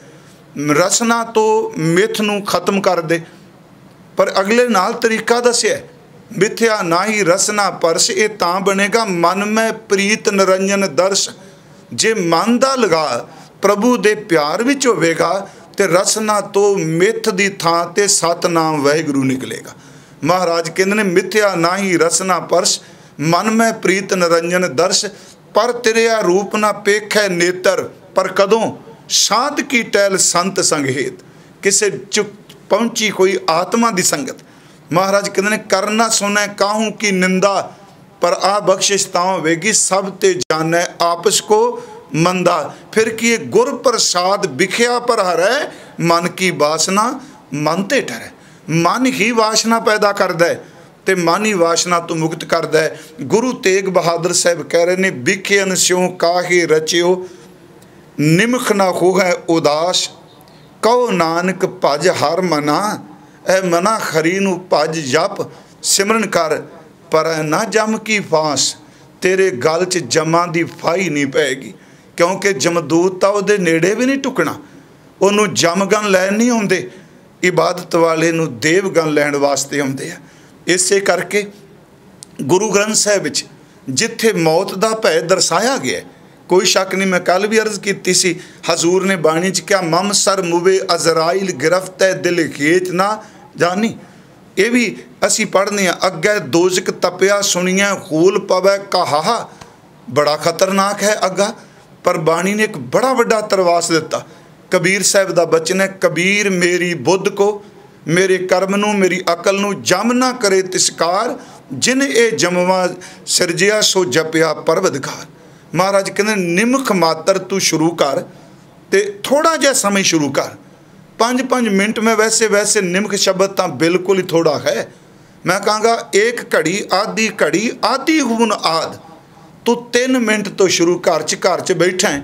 ਤੂੰ ਇਹ ਨੇਮ ਹੀ ਬਣਾ ਲੈ ਵੀ ਸਵੇਰੇ 3 ਮਿੰਟ ਮੈਂ ਇਮਾਨਦਾਰੀ ਨਾਲ ਗੁਰੂ ਦੇ ਸ਼ਬਦ ਦਾ ਜਾਪ ਕਰਨੀ ਕਰਨਾ ਇੱਕ ਨਿਮਖ ਜ਼ਿੰਦਗੀ ਪਲਟ ਜਾਂਦਾ ਇਸ ਤੋਂ ਅਗਲਾ, ਜਿਹੜਾ ਬਚਨ ਹੈ ਮਹਾਰਾਜ ਜੀ ਨੇ ਕਿਹਾ ਤਰਨਾਪੋ ਇਉਂ ਹੀ ਗਇਓ। ਲਿਓ ਜਰਾ ਤਨ ਜੀਤ, ਇਹਦੇ ਅਖਰੀ ਅਰਥ ਸ਼ਬਦ ਹੈ ਤਰਨਾਪੋ ਤਰਨ ਅਵਸਥਾ। ਇਹਦਾ ਅਰਥ ਕਰਾਂ, ਕਰਾਂਗੇ ਜਵਾਨੀ ਦੀ ਅਵਸਥਾ, ਜੋਬਨ ਦੀ ਅਵਸਥਾ। ਜਦੋਂ ਐ ਨਕਾ ਨਕ ਬੰਦਾ ਤਾਕਤ ਨਾਲ ਭਰਿਆ ਹੋਇਆ ਹੈ। ਮਹਾਰਾਜ ਕਹਿੰਦੇ ਤਰਨਾਪੋ ਇਉਂ ਹੀ ਗਇਓ। ਜਵਾਨੀ ਦਾ ਵਕਤ, ਜਵਾਨੀ ਦਾ ਸਮਾਂ ਐਵੇਂ ਹੀ ਚਲਾ ਗਿਆ। ਤੇ ਨਾਲ ਬਚਨ ਕੀਤਾ, ਲਿਓ ਜਰਾ ਤਨ ਜੀਤ, ਇੱਥੇ ਜਰ ਦਾ ਅਰਥ ਹੈ ਬੁਢੇਪਾ, ਤੇ ਤਨ ਦਾ ਅਰਥ ਅਸੀਂ ਕਰਨੇ ਆ ਸਰੀਰ, ਜਿੱਤ ਦਾ ਅਰਥ, ਜੀਤ ਦਰ ਤੇ ਜਿੱਤਣਾ। ਕਹਿੰਦੇ ਨੇ ਜਵਾਨੀ ਦਾ ਜਿਹੜਾ ਵਕਤ ਸੀ, ਉਹ ਅਜਾਈ ਚਲਾ ਗਿਆ। ਤਰਨਾਪੋ ਇਉਂ ਹੀ ਗਇਓ, ਲਿਓ ਜਰਾ ਤਨ ਜੀਤ। ਕਹਿੰਦੇ ਨੇ ਭਾਈ ਸੱਜਣੋ, ਬੁਢੇਪੇ ਨੇ ਆ ਕੇ ਜਵਾਨੀ ਨੂੰ ਜਿੱਤ ਲਿਆ, ਇਹਨੇ ਤਨ ਨੂੰ ਜਿੱਤ ਲਿਆ। ਕਹੋ ਨਾਨਕ ਭਜ ਹਰ ਮਨਾ। ਧੰਨ ਗੁਰੂ ਤੇਗ ਬਹਾਦਰ ਜੀ ਕਹਿੰਦੇ ਨੇ, ਜਵਾਨੀ ਚਲੀ ਗਈ ਬੁਢੇਪੇ ਨੇ ਕਬਜ਼ਾ ਕਰ ਲਿਆ ਸਰੀਰ ਦੇ ਉੱਤੇ। ਇਹ ਮੇਰੇ ਮਨਾ, ਤੂੰ ਖਰੀ ਨੂੰ ਜਪ ਕਹੋ, ਨਾਨਕ ਭਜ ਹਰ ਮਨਾ। ਵੇਖੀ ਕਿਆ ਬੁਢੇਪੇ ਵਾਲੇ ਦਿਨ ਵੀ ਨਾ ਨਿਕਲ ਜਾਣ, ਔਦ ਜਾਤ ਹੈ ਬੀਤ। ਇੱਥੇ ਔਦ ਦਾ ਅਰਥ ਉਮਰ ਆਰਬਲਾ ਇਹ ਕਰਾਂਗੇ ਆਯੂ। ਜਾਤ ਦਰ ਤੇ ਜਾਰੀ ਹੈ ਬੀਤ ਦਰ ਤੇ ਚਲੀ ਜਾਣੀ, ਬੀਤੀਤ ਹੋ ਜਾਣੀ। ਹੇ ਮਨਾ ਤੂੰ ਖਰੀ ਦੇ ਨਾਮ ਦਾ ਸਿਮਰਨ ਕਰ। ਤੇਰੇ ਸਰੀਰ ਨੂੰ ਬੁਢੇਪੇ ਨੇ ਜਿੱਤ ਲਿਆ ਹੈ ਤੇ ਇਹ ਉਮਰ ਵੀ ਨਿਕਲਦੀ ਪਈ ਹੈ ਤੂੰ ਪ੍ਰਮਾਤਮਾ ਦਾ ਸਿਮਰਨ ਕਿਉਂ ਨਹੀਂ ਕਰ ਰਿਹਾ? ਉਹਦਾ ਯਾਦ ਕਰ। ਇਹ ਦੋਨਾਂ ਸ਼ਲੋਕਾਂ ਦਾ ਪ੍ਰਕਰਨ ਇੱਕੋ ਹੀ ਚੱਲੇਗਾ। ਤਰਨਾਪੋ ਇਉਂ ਹੀ ਗਇਓ, ਲਿਓ ਜਰਾ ਤਨ ਜੀਤ, ਕਹੋ ਨਾਨਕ ਹਰ ਭਜ ਮਨਾ। ਔਦ ਜਾਤ ਹੈ ਬੀਤ, ਹੁਣ ਜਦੋਂ ਤਨ ਨੂੰ ਬੁਢੇਪੇ ਨੇ ਜਿੱਤ ਲਿਆ। ਅੱਗੇ ਦੀ ਵਿਆਖਿਆ ਆਪਾਂ ਕਰਨੇ। ਪਹਿਲਾ ਆਖਰੀ ਅਰਥ ਨੇ। ਮਹਾਰਾਜ ਕਹਿੰਦੇ ਨੇ, ਬਿਰਧ ਭਇਓ, ਲਿਓ ਜਰਾ ਤਨ ਜੀਤ। ਹੁਣ ਇਸ ਗੱਲ ਨੂੰ ਅਗਲੇ ਸ਼ਲੋਕ ਚ ਮਹਾਰਾਜ ਨਾਲ ਹੀ ਬਖਸ਼ਿਸ਼ ਕਰ ਰਹੇ ਆ, ਬਜ਼ੁਰਗ ਹੋ ਗਿਆ, ਬਿਰਧ ਹੋ ਗਿਆ। ਸੋਝੈ ਨਹੀਂ। ਹੁਣ ਕੋਈ ਗੱਲ ਦੀ ਸਮਝ ਨਹੀਂ ਪੈਂਦੀ ਪਈ। ਬਿਰਧ ਭਇਓ, ਸੋਝੈ ਨਹੀਂ, ਕਾਲ ਪਹੁੰਚਿਓ ਆਨ। ਜਵਾਨੀ ਤੋਂ ਬਾਅਦ ਬੁਢੇਪਾ ਆਇਆ ਬੁਢੇਪੇ ਸਮਝ ਕੋਈ ਨਹੀਂ ਪੈਂਦੀ ਪਈ। ਤੇ ਗੁਰੂ ਤੇਗ ਬਹਾਦਰ ਕਹਿੰਦੇ ਨੇ, ਉਹ ਦੇਖ ਅਗਲੇ ਪੜਾਂ ਦੀ ਤੂੰ ਗੱਲ ਨਹੀਂ ਕਰਦਾ ਪਿਆ, ਅਗਲਾ ਪੜਾਂ ਤੇਰੇ ਸਾਹਮਣੇ ਮੌਤ ਆਉਂਦੀ ਪਈ ਹੈ। ਕਾਲ ਪਹੁੰਚਿਓ, ਆਨ। ਫਿਰ ਦੇਖੋ ਇੱਕ ਬਖਸ਼ਿਸ਼ ਕੀਤੀ। ਇਸ ਸਮੇਂ ਨੂੰ ਵੀ ਗੁਰੂ ਕਹਿੰਦੇ ਨੇ, ਤੂੰ ਗਵਾ ਨਾ। ਕਹੋ, ਨਾਨਕ, ਨਰ ਬਾਬਰੇ ਸਤਿਗੁਰੂ ਗੁਰੂ ਤੇਗ ਬਹਾਦਰ ਕਹਿ ਰਹੇ ਨਰ ਬਾਬਰੇ ਦਰ ਤੇ ਉਹ ਝੱਲੇ ਬੰਦਿਆ ਬਾਬਰੇ ਬੰਦਿਆ ਮੂਰਖ ਇਨਸਾਨਾ। ਕਹੋ, ਨਾਨਕ, ਨਰ ਬਾਬਰੇ ਕਿਉਂ ਨਾ ਭਜੈ ਭਗਵਾਨ? ਐ ਝੱਲੇ ਬੰਦੇ ਤੂੰ ਕਿਉਂ ਭਗਵਾਨ ਨੂੰ, ਪਰਮਾਤਮਾ ਨੂੰ ਯਾਦ ਨਹੀਂ ਪਿਆ ਕਰਦਾ? ਇਹਨਾਂ ਦੋ ਸ਼ਲੋਕਾਂ 'ਚ ਸਤਿਗੁਰਾਂ ਨੇ ਇੱਕ ਬਖਸ਼ਿਸ਼ ਕੀਤੀ। ਇੱਕ ਜਵਾਨੀ, ਬੁਢੇਪਾ ਤੇ ਬੁਢੇਪੇ ਤੋਂ ਬਾਅਦ ਸਾਹਮਣੇ ਆਉਂਦੀ ਦਿਸੀ ਮੌਤ। ਉਸ ਮੌਤ ਤੋਂ ਪਹਿਲਾਂ ਜਿਹੜਾ ਬੁਢੇਪੇ ਦਾ ਵਕਤ ਹੈ, ਉਹਨੂੰ ਹੀ ਤੂੰ ਸਾਂਭ ਲੈ। ਜਵਾਨੀ ਤਾਂ ਚਲੀ ਗਈ। ਉਂਝ ਗੁਰੂ ਗ੍ਰੰਥ ਸਾਹਿਬ ਦੀ ਬਾਣੀ 'ਚ ਸਤਿਗੁਰਾਂ ਨੇ ਖਰ ਅਵਸਥਾ ਤੇ ਬਹੁਤ ਚਾਨਣ ਪਾਇਆ ਹੈ। ਚਲੋ ਇੱਥੇ ਸਿਰਫ ਤਰਨਾਪੋ ਸ਼ਬਦ ਵਰਤਿਆ ਹੈ ਅੱਗੇ ਜਦੋਂ ਪਾਠ ਕਰਾਂਗੇ, ਬਾਲ, ਜਵਾਨੀ, ਅਰ ਬਿਰਧ ਤੀਨ ਅਵਸਥਾ, ਜਾਨ। ਜਦੋਂ ਬੰਦੇ ਤੇ ਜਵਾਨੀ ਹੁੰਦੀ, ਖੁਸ਼ਕਿਸਮਤ ਨੇ ਉਹ ਇਨਸਾਨ ਜਿਹੜੇ ਭਰ ਜੋਬਨ ਵਿੱਚ, ਕਰਤਾਰ ਦੇ ਚਰਨਾਂ ਵਿੱਚ, ਰੱਬ ਦੇ ਚਰਨਾਂ ਵਿੱਚ ਜੁੜ ਜਾਂਦੇ। ਨਹੀਂ ਤੇ ਸੱਚ ਇਹ ਵੇ, ਜਵਾਨੀ ਬੰਦੇ ਨੂੰ ਬੰਦਾ ਨਹੀਂ ਸਮਝਦੀ। ਜਵਾਨੀ ਉਸ ਗੱਲ ਨੂੰ ਸਮਝਦੀ ਨਹੀਂ ਸਤਿਗੁਰਾਂ ਨੇ ਤਾਂ ਇੱਕ ਸ਼ਬਦ ਵਰਤਿਆ, ਜੋਬਨ ਧਨ ਪ੍ਰਭਤਾ ਕੈ ਮਦ, ਮੈਂ ਐਨਸ ਰਹੇ دیਵਾਨਾ ਸੱਚੀ ਮੁੱਚੀ ਇਨਸਾਨ ਹੰਕਾਰੀ ਹੈ। ਉਹ ਛੇਤੀ ਕਿਤਿਆਂ ਕਿਸੇ ਦੀ ਗੱਲ ਮੰਨਣ ਨੂੰ ਤਿਆਰ ਨਹੀਂ। ਉਂਝ ਗੁਰਬਾਣੀ ਨੇ ਕਿਹਾ ਕਿ ਸਵਸਤ ਵਿਵਸਥਾ ਹਰ ਕੀ ਸੇਵਾ ਮਧ ਅੰਤ ਪ੍ਰਭ ਜਾਪਣ। ਜਵਾਨੀ ਦਾ ਵੇਲਾ ਹੈ ਕਿ ਜਦੋਂ ਤੂੰ ਪਰਮਾਤਮਾ ਦੀ ਇਬਾਦਤ ਕਰ ਸਕਣਾ ਥੋੜਾ ਜਿਹਾ ਅਸੀਂ ਬਾਣੀ ਚੋਂ ਦੇਖਨੇ। ਇਸ ਇਹ ਪੱਖ ਰੱਖਿਆ ਜਿਹਦਾ ਜੋਬਨ ਚਲਾ ਗਿਆ ਕਿਉਂਕਿ ਅਸੀਂ ਪ੍ਰਕਰਨ ਤੋਂ, ਸ਼ਬਦ ਦੇ ਵਿਸ਼ੇ ਤੋਂ ਦੂਰ ਨਹੀਂ ਜਾਵਾਂਗੇ। ਪਰ ਐਸੇ ਐਸੇ ਗੁਰਸਿੱਖੀ ਚ, ਕਮਾਈਆਂ ਵਾਲੇ ਗੁਰਸਿੱਖ ਮਹਾਂਪੁਰਖ, ਜਿਨ੍ਹਾਂ ਨੇ ਸੱਚ ਐਵੇਂ ਬਚਪਨ ਤੋਂ ਲੈ ਕੇ ਅਖੀਰ ਤੱਕ ਜ਼ਿੰਦਗੀ ਦੇ ਤਿੰਨੇ ਪੜਾ ਰੱਬ ਦੀ ਇਬਾਦਤ ਵਿੱਚ ਹੀ ਬਤੀਤ ਕੀਤੇ ਆ। ਇੱਥੇ ਸਤਿਗੁਰਾਂ ਨੇ ਬਾਣੀ ਚ ਇੱਕ ਦੋ ਮੈਂ ਪ੍ਰਮਾਣ ਲੈਣੇ, ਗੁਰੂ ਨਾਨਕ ਸਾਹਿਬ ਦਾ ਬਚਨ ਹੈ ਕਿ ਜਦੋਂ ਬੰਦੇ ਕੋਲ ਜਵਾਨੀ ਹੈ, ਇਹਨੂੰ ਸਤਿਗੁਰੂ ਨੇ ਮਨੁੱਖੀ ਜ਼ਿੰਦਗੀ ਦੇ ਚਾਰ ਪੜਾਵਾਂ ਵਿੱਚ ਬਤੀਤ ਬਿਆਨ ਕੀਤਾ ਪਹਿਲਾ ਪੈਰ, ਦੂਜਾ ਪੈਰ, ਤੀਜਾ ਪੈਰ, ਚੌਥਾ ਪੈਰ। ਹੁਣ ਜਦੋਂ ਜਵਾਨੀ ਹੈ ਉਹਦੇ ਬਾਰੇ ਸਤਿਗੁਰੂ ਕਹਿੰਦੇ ਨੇ ਕਿ ਤੀਜਾ ਪੈਰ ਹੈ, ਰਹਿਣ ਕੈ, ਵਣਜਾਰਿਆ, ਮਿੱਤਰਾ, ਧਨ ਜੋਬਨ ਸੋਚਿਤ ਜਦੋਂ ਜਵਾਨੀ ਬੰਦੇ ਕੋਲ ਹੈ, ਇਹਦੇ ਚਿੱਤ ਵਿੱਚ ਜਾਂ ਪੈਸਾ ਜਾਂ ਵਾਸ਼ਨਾ ਦੇ ਫੁਰਨੇ ਹੀ ਉੱਠਦੇ ਜਵਾਨੀ ਦਾ ਨਸ਼ਾ ਹੈ। ਤੀਜੇ ਪੈਰ ਰਹਿਣ ਕੈ ਵਣਜਾਰਿਆ ਮਿੱਤਰਾ ਧਨ ਜੋਬਨ ਸੋ ਚਿੱਤ।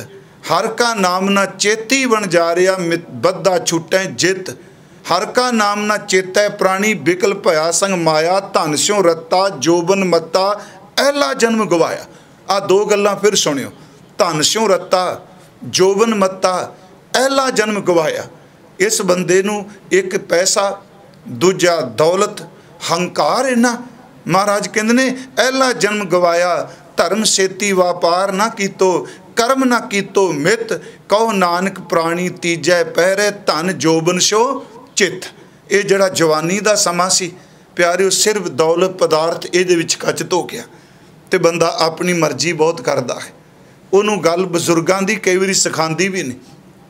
ਤੇ ਮੈਂ ਇੱਕ ਵਾਰ ਬੇਨਤੀ ਕੀਤੀ ਸੀ, ਨੌਜਵਾਨ ਵੀਰੋ, ਇਹ ਗੱਲ ਚੇਤੇ ਰੱਖਿਓ ਜਦੋਂ ਸਮਾਂ ਹੁੰਦਾ ਹੈ, ਉਹਦੇ ਬੰਦੇ ਨੂੰ ਸੋਝੀ ਨਹੀਂ ਹੁੰਦੀ।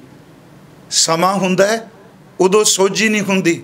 ਘਰ ਵਿੱਚ ਬਜ਼ੁਰਗ, ਸਿਆਣੇ ਮਹਾਂਪੁਰ ਗੁਰਮੁਖ, ਵਿਦਵਾਨ ਸਮਝਾਉਣ ਵਾਲੇ ਬੈਠੇ ਹੁੰਦੇ ਆ ਜਗਤ 'ਚ। ਉਦੋਂ ਸਾਡਾ ਖੌਮੇ ਕਹਿੰਦੀ ਏ, ਤੇਰੇ ਤੋਂ ਵੱਧ ਕਿਸੇ ਨੂੰ ਨਹੀਂ ਪਤਾ। ਜਦੋਂ ਸਮਾਂ ਹੁੰਦਾ ਹੈ, ਉਦੋਂ ਸੋਝੀ ਨਹੀਂ ਹੁੰਦੀ। ਜਦੋਂ ਸੋਝੀ ਆਉਣ ਲੱਗਦੀ, ਉਦੋਂ ਸੱਚੇ ਵੀ ਸਮਾਂ ਵੀ ਚਲਾ ਜਾਂਦਾ ਹੈ ਤੇ ਸੋਝੀ ਦੇਣ ਵਾਲੇ ਵੀ ਸੰਸਾਰ ਤੋਂ ਚਲੇ ਜਾਂਦੇ ਆ। ਸਤਿਗੁਰੂ ਕਹਿੰਦੇ ਨੇ, ਦੋ ਚੀਜ਼ਾਂ ਜਵਾਨੀ 'ਚ, ਇੱਕ ਜੋਬਨ ਤੇ ਦੂਸਰਾ ਪੈਸਾ। ਹਜ਼ੂਰ ਨੇ, ਦੇਖੋ ਫਿਰ ਬਖਸ਼ਿਸ਼ ਕੀਤੀ। ਜਵਾਨੀ ਬੜੀ ਵੱਡੀ ਸਮਰੱਥਾ ਰੱਖਦੀ। ਇਹ, ਇਸ ਵਿੱਚ ਬੰਦਾ ਜਿੰਨਾ ਚੌਂਕੜਾ ਮਾਰ ਕੇ ਜਵਾਨੀ 'ਚ ਬੈਠ ਸਕਦਾ ਬੁਢੇਪੇ 'ਚ ਕਿੱਥੇ ਜੀ? ਜਿੰਨਾ ਟੇਕ ਕੇ ਤੂੰ ਸੇਵਾ ਜਵਾਨੀ 'ਚ ਇਨਸਾਨ ਕਰ ਸਕਦਾ ਖਿਮਾ ਕਰਿਓ, ਬੁਢੇਪੇ 'ਚ ਉਹ ਗੱਲ ਨਹੀਂ ਬਣਦੀ। ਪਰ ਮੈਂ ਬੇਨਤੀ ਕਰਾਂਗਾ, ਗੁਰੂ ਜੀ ਕਹਿੰਦੇ ਆ, ਜਵਾਨੀ ਦੇ ਦਿਨ ਚਲੇ ਗਏ। ਤੇ ਜਵਾਨੀ ਨੂੰ ਕਿਸੇ ਨਹੀਂ ਜਿੱਤਿਆ। ਇਨਸਾਨ ਪਰਵਾਹ ਨਹੀਂ ਕਰਦਾ। ਉਹ ਕਹਿੰਦਾ, ਮੈਨੂੰ ਮੈਨੂੰ ਕਿਸੇ ਦੀ ਕੀ ਪਰਵਾਹ? ਮੇਰੇ ਕੋਲ ਤਾਕਤ ਬੜੀ। ਉਂਝ ਗੁਰੂ ਗ੍ਰੰਥ ਸਾਹਿਬ ਦੀ ਬਾਣੀ ਨੇ ਕਿਹਾ ਕਿ ਜਿਹੜਾ ਇਨਸਾਨ ਜਵਾਨੀ ਦਾ ਹੰਕਾਰ ਕਰਦਾ ਹੈ, ਸੱਚੀ ਗੱਲ ਹੈ ਉਹ ਰੱਬ ਦੀ ਦਰਗਾਹ ਦੇ ਵਿੱਚ ਇੱਕ ਗੰਦਗੀ ਦੇ ਕੀੜੇ ਦੇ ਤੁਲ ਹੈ ਉਹ ਇਸ ਤੋਂ ਵੱਧ ਨਹੀਂ। ਹਜ਼ੂਰ ਨੇ ਬਖਸ਼ਿਸ਼ ਕੀਤੀ ਕਿ ਜੋਬਨ ਚਲਾ ਗਿਆ ਤੇ ਜੋਬਨ ਨੂੰ ਜਿੱਤਿਆ ਕਿੰਨੇ ਆਸਾ ਕੀ ਵਾਰ ਵਿੱਚ ਇੱਕ ਬਚਨ ਹੁੰਦਾ ਹੈ, ਜਰ ਆਈ, ਜੋ ਹਾਰਿਆ ਜਿਹੜੀ ਜਵਾਨੀ ਕਿਸੇ ਤੋਂ ਨਹੀਂ ਹਾਰੀ, ਉਸ ਜਵਾਨੀ ਨੂੰ ਸੱਚੀ ਏਵੇਂ ਬੁਢੇਪੇ ਨੇ ਖਰਾ ਦਿੱਤਾ ਤੇ ਭਰਥਰੀ ਨੇ ਇੱਕ ਸ਼ਬਦ ਕਿਹਾ ਬਰਾਗ ਸ਼ਤਕ ਵਿੱਚ। ਉਹ ਕਹਿੰਦਾ ਹੈ ਕਿ ਜੇ ਤੂੰ ਭਵ ਸਾਗਰ ਤੋਂ ਤਰਨਾ ਹੈ ਤੇ ਜਵਾਨੀ ਦੇ ਵਕਤ ਨੂੰ ਜ਼ਰੂਰ ਸਾਮ ਉਹਦਾ ਸ਼ਬਦ ਹੈ ਕਿ ਜਰਾ ਉਪਾਏ ਨਾ ਹੋ ਸਕੇ, ਜਰਾ ਅਵਸਥਾ ਮਾ ਹੈ ਇਹ ਸੁਣਿਓ ਬੇਨਤੀ। ਜਰਾ ਉਪਾਏ ਨਾ ਹੋ ਸਕੇ। ਪਹਿਲੇ ਜਰੇਦਾਰ ਤੇ ਥੋੜਾ, ਦੂਜਾ ਜਰਾਦਾਰ ਤੇ ਬੁਢੇਪਾ। ਥੋੜਾ ਜਿਹਾ ਵੀ ਉਪਾ ਨਹੀਂ ਹੋ ਸਕੇਗਾ। ਬੁਢੇਪੇ ਵਿੱਚ ਜਰਾ ਉਪਾਏ ਨਾ ਹੋ ਸਕੇ, ਜਰਾ ਅਵਸਥਾ ਮਾਹੇ। ਭਵ ਸਾਗਰ ਕੇ ਤਰਨ ਕੋ ਤਰਨ ਅਵਸਥਾ ਆਏ। ਭਵ ਸਾਗਰ ਨੂੰ ਤਰਨ ਦੇ ਲਈ ਇੱਕ ਤੇਰੇ ਕੋ ਰੱਬ ਨੇ ਜਵਾਨੀ ਦਾ ਵਕਤ ਦਿੱਤਾ ਹੈ। ਜੋ ਜੋਬਨ ਹਾਰ ਜਾਂਦਾ ਹੈ। ਸਤਿਗੁਰੂ ਕਹਿੰਦੇ ਨੇ ਤਰਨਾਪੋ ਇਉਂ ਹੀ ਗਇਓ, ਲਿਓ ਜਰਾ ਤਨ ਜੀਤ।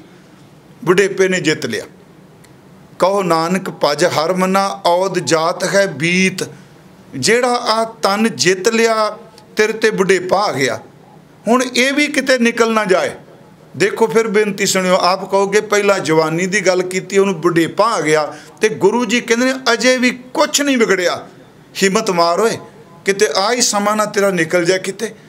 ਕਿਉਂਕਿ ਬੁਢੇਪੇ ਦੀਆਂ ਆਪਣੀਆਂ ਮਜਬੂਰੀਆਂ ਨੇ। ਅੱਗੇ ਗੁਰੂ ਜੀ ਕਹਿੰਦੇ ਨੇ, ਬਿਰਧ ਭਇਓ, ਸੋਜੈ ਨਹੀਂ, ਕਾਲ ਪਹੁੰਚਿਓ ਆਨ। ਜਦੋਂ ਤਰਨਾਪੋ ਚਲਾ ਗਿਆ ਬੁਢੇਪੇ ਨੇ ਜਿੱਤ ਲਿਆ। ਹੁਣ ਬੁਢੇਪਾ ਆ ਗਿਆ, ਕੋਈ ਸਮਝ ਨਹੀਂ ਪੈਂਦੀ ਪਈ। ਕਿਉਂ? ਕਿਉਂਕਿ ਗੁਰਬਾਣੀ ਨੇ ਕਿਹਾ ਦੇਖੋ ਬੁਢੇਪਾ ਕਿਵੇਂ ਜਿੱਤਦਾ ਸਾਡੇ ਧਨ ਨੂੰ। ਸਨਮਾਨਯੋਗ ਬਾਬਾ ਫਰੀਦ ਸਾਹਿਬ ਜੀ ਮਹਾਰਾਜ, ਉਹਨਾਂ ਦੇ ਤਿੰਨ ਚਾਰ ਬਚਨ ਨੇ। ਉਹਨਾਂ ਨੇ ਜਵਾਨੀ ਦੀ ਗੱਲ ਵੀ ਕੀਤੀ ਤੇ ਬੁਢੇਪੇ ਦੀ ਗੱਲ ਵੀ ਕੀਤੀ। ਕਿਵੇਂ ਬੁਢੇਪੇ ਨੇ ਜਿੱਤ ਲਿਆ ਧਨ ਉਹਨਾਂ ਦਾ ਇੱਕ ਬੱਚੇ ਨੇ ਚੱਬਣ, ਲਿਓ ਜਰਾ ਤਨਜੀਤ। ਚੱਬਣ, ਚਲਣ, ਰਤਨ, ਸੇ ਸੁਨੀਅਰ ਬਹਿ ਗਏ। ਦੇਖੋ ਸ਼ਬਦ ਨੇ ਚੱਬਣ। ਅੱਜ ਕਿੰਨਾ ਬੰਦਾ ਬੇਬਸ ਹੋ ਗਿਆ ਜੀ। ਜਿਨ੍ਹਾਂ ਦੰਦਾਂ ਦੇ ਨਾਲ ਇਹ ਕਰੜੀ ਤੋਂ ਕਰੜੀ ਚੀਜ਼ ਭੰਨ ਦਿੰਦਾ ਸੀ, ਤੋੜ ਦਿੰਦਾ ਸੀ, ਅੱਜ ਸੱਚੀ ਮੁੱਚੀ ਉਹ ਦੰਦ ਹੀ ਟੁੱਟਣੇ ਸ਼ੁਰੂ ਹੋ ਗਏ। ਜਿਨ੍ਹਾਂ ਪੈਰਾਂ ਨਾਲ ਕਿੰਨੇ ਕਿੰਨੇ ਮੀਲ ਤੱਕ ਸਫ਼ਰ ਕਰਦਾ ਸੀ, ਅੱਜ ਉਹ ਪੈਰ ਉਹ ਗੋਡੇ ਸਾਥ ਛੱਡ ਗਏ ਚੱਬਣ ਚਲਨ ਤੇ ਤੀਸਰਾ ਸ਼ਬਦ ਹੈ ਰਤਨ, ਜਿਹੜੀਆਂ ਅੱਖਾਂ ਰਤਨਾਂ ਦੀ ਤਰ੍ਹਾਂ ਚਮਕਦੀਆਂ ਸਨ। ਪਿਆਰਿਓ, ਅੱਜ ਉਹਨਾਂ ਅੱਖਾਂ ਨੂੰ ਦਿਸਦੀ ਕੋਈ ਨਹੀਂ। ਚੱਬਣ ਚਲਨ ਰਤਨ, ਸੇ ਸੁਨੀਅਰ ਕੰਨ ਵੀ ਬੋਲੇ ਹੋ ਗਏ। ਸੇ ਸੁਨੀਅਰ ਬਹਿ ਗਏ। ਅੱਗੇ ਬਾਬਾ ਸਾਹਿਬ ਨੇ ਦੇਖੋ ਕਿਆ ਕਹਿੰਦੇ ਨੇ, ਸਰੀਰ ਉਹੀ ਹੈ ਤਨ ਉਹੀ ਹੈ ਜਿਹੜਾ ਜਵਾਨੀ ਵੇਲੇ ਸੀ। ਪਰ ਅੱਜ ਦੰਦ ਕੋਈ ਨਹੀਂ, ਅੱਖਾਂ 'ਚ ਜੋਤ ਕੋਈ ਨਹੀਂ, ਕੰਨਾਂ 'ਚ ਸਰੋਤ ਕੋਈ ਨਹੀਂ, ਪੈਰਾਂ 'ਚ ਤਾਕਤ ਕੋਈ ਨਹੀਂ। ਖੇੜੇ ਮੁੱਤੀ ਢਾ ਖੇੜਾ ਦਰ ਤੇ ਸਰੀਰ। ਸਰੀਰ ਨੇ ਢਾ ਮਾਰ ਕੇ ਕਿਹਾ, ਸੇ ਜਾਨੀ, ਚੱਲ ਗਏ। ਜਿਹੜੇ ਪਿਆਰੇ ਮੇਰੇ ਇੰਦਰੇ ਸਨੇ, ਵੇਖੋ, ਇਹ ਸਰੀਰ ਮੇਰਾ ਪਿਆ ਮੇਰਾ ਸਾਥ ਛੱਡ ਕੇ ਚਲੇ ਗਏ। ਕਿੰਨੀ ਬੇਬਸੀ ਹੈ ਬੁਢੇਪੇ ਵਿੱਚ। ਬਾਬਾ ਸਾਹਿਬ ਨੇ ਤਾਂ ਹੀ ਇੱਕ ਸ਼ਬਦ ਕਿਹਾ, ਇੰਨੀ ਨਿੱਕੀ ਜੰਗੀ ਹੈ, ਥਲ ਡੂੰਗਰ ਪਰ ਪਵਿਓਮ ਜਿੱਤ ਗਿਆ, ਅੱਜ ਬੁਢੇਪਾ ਜੋਬਨ ਖਾਰ ਗਿਆ।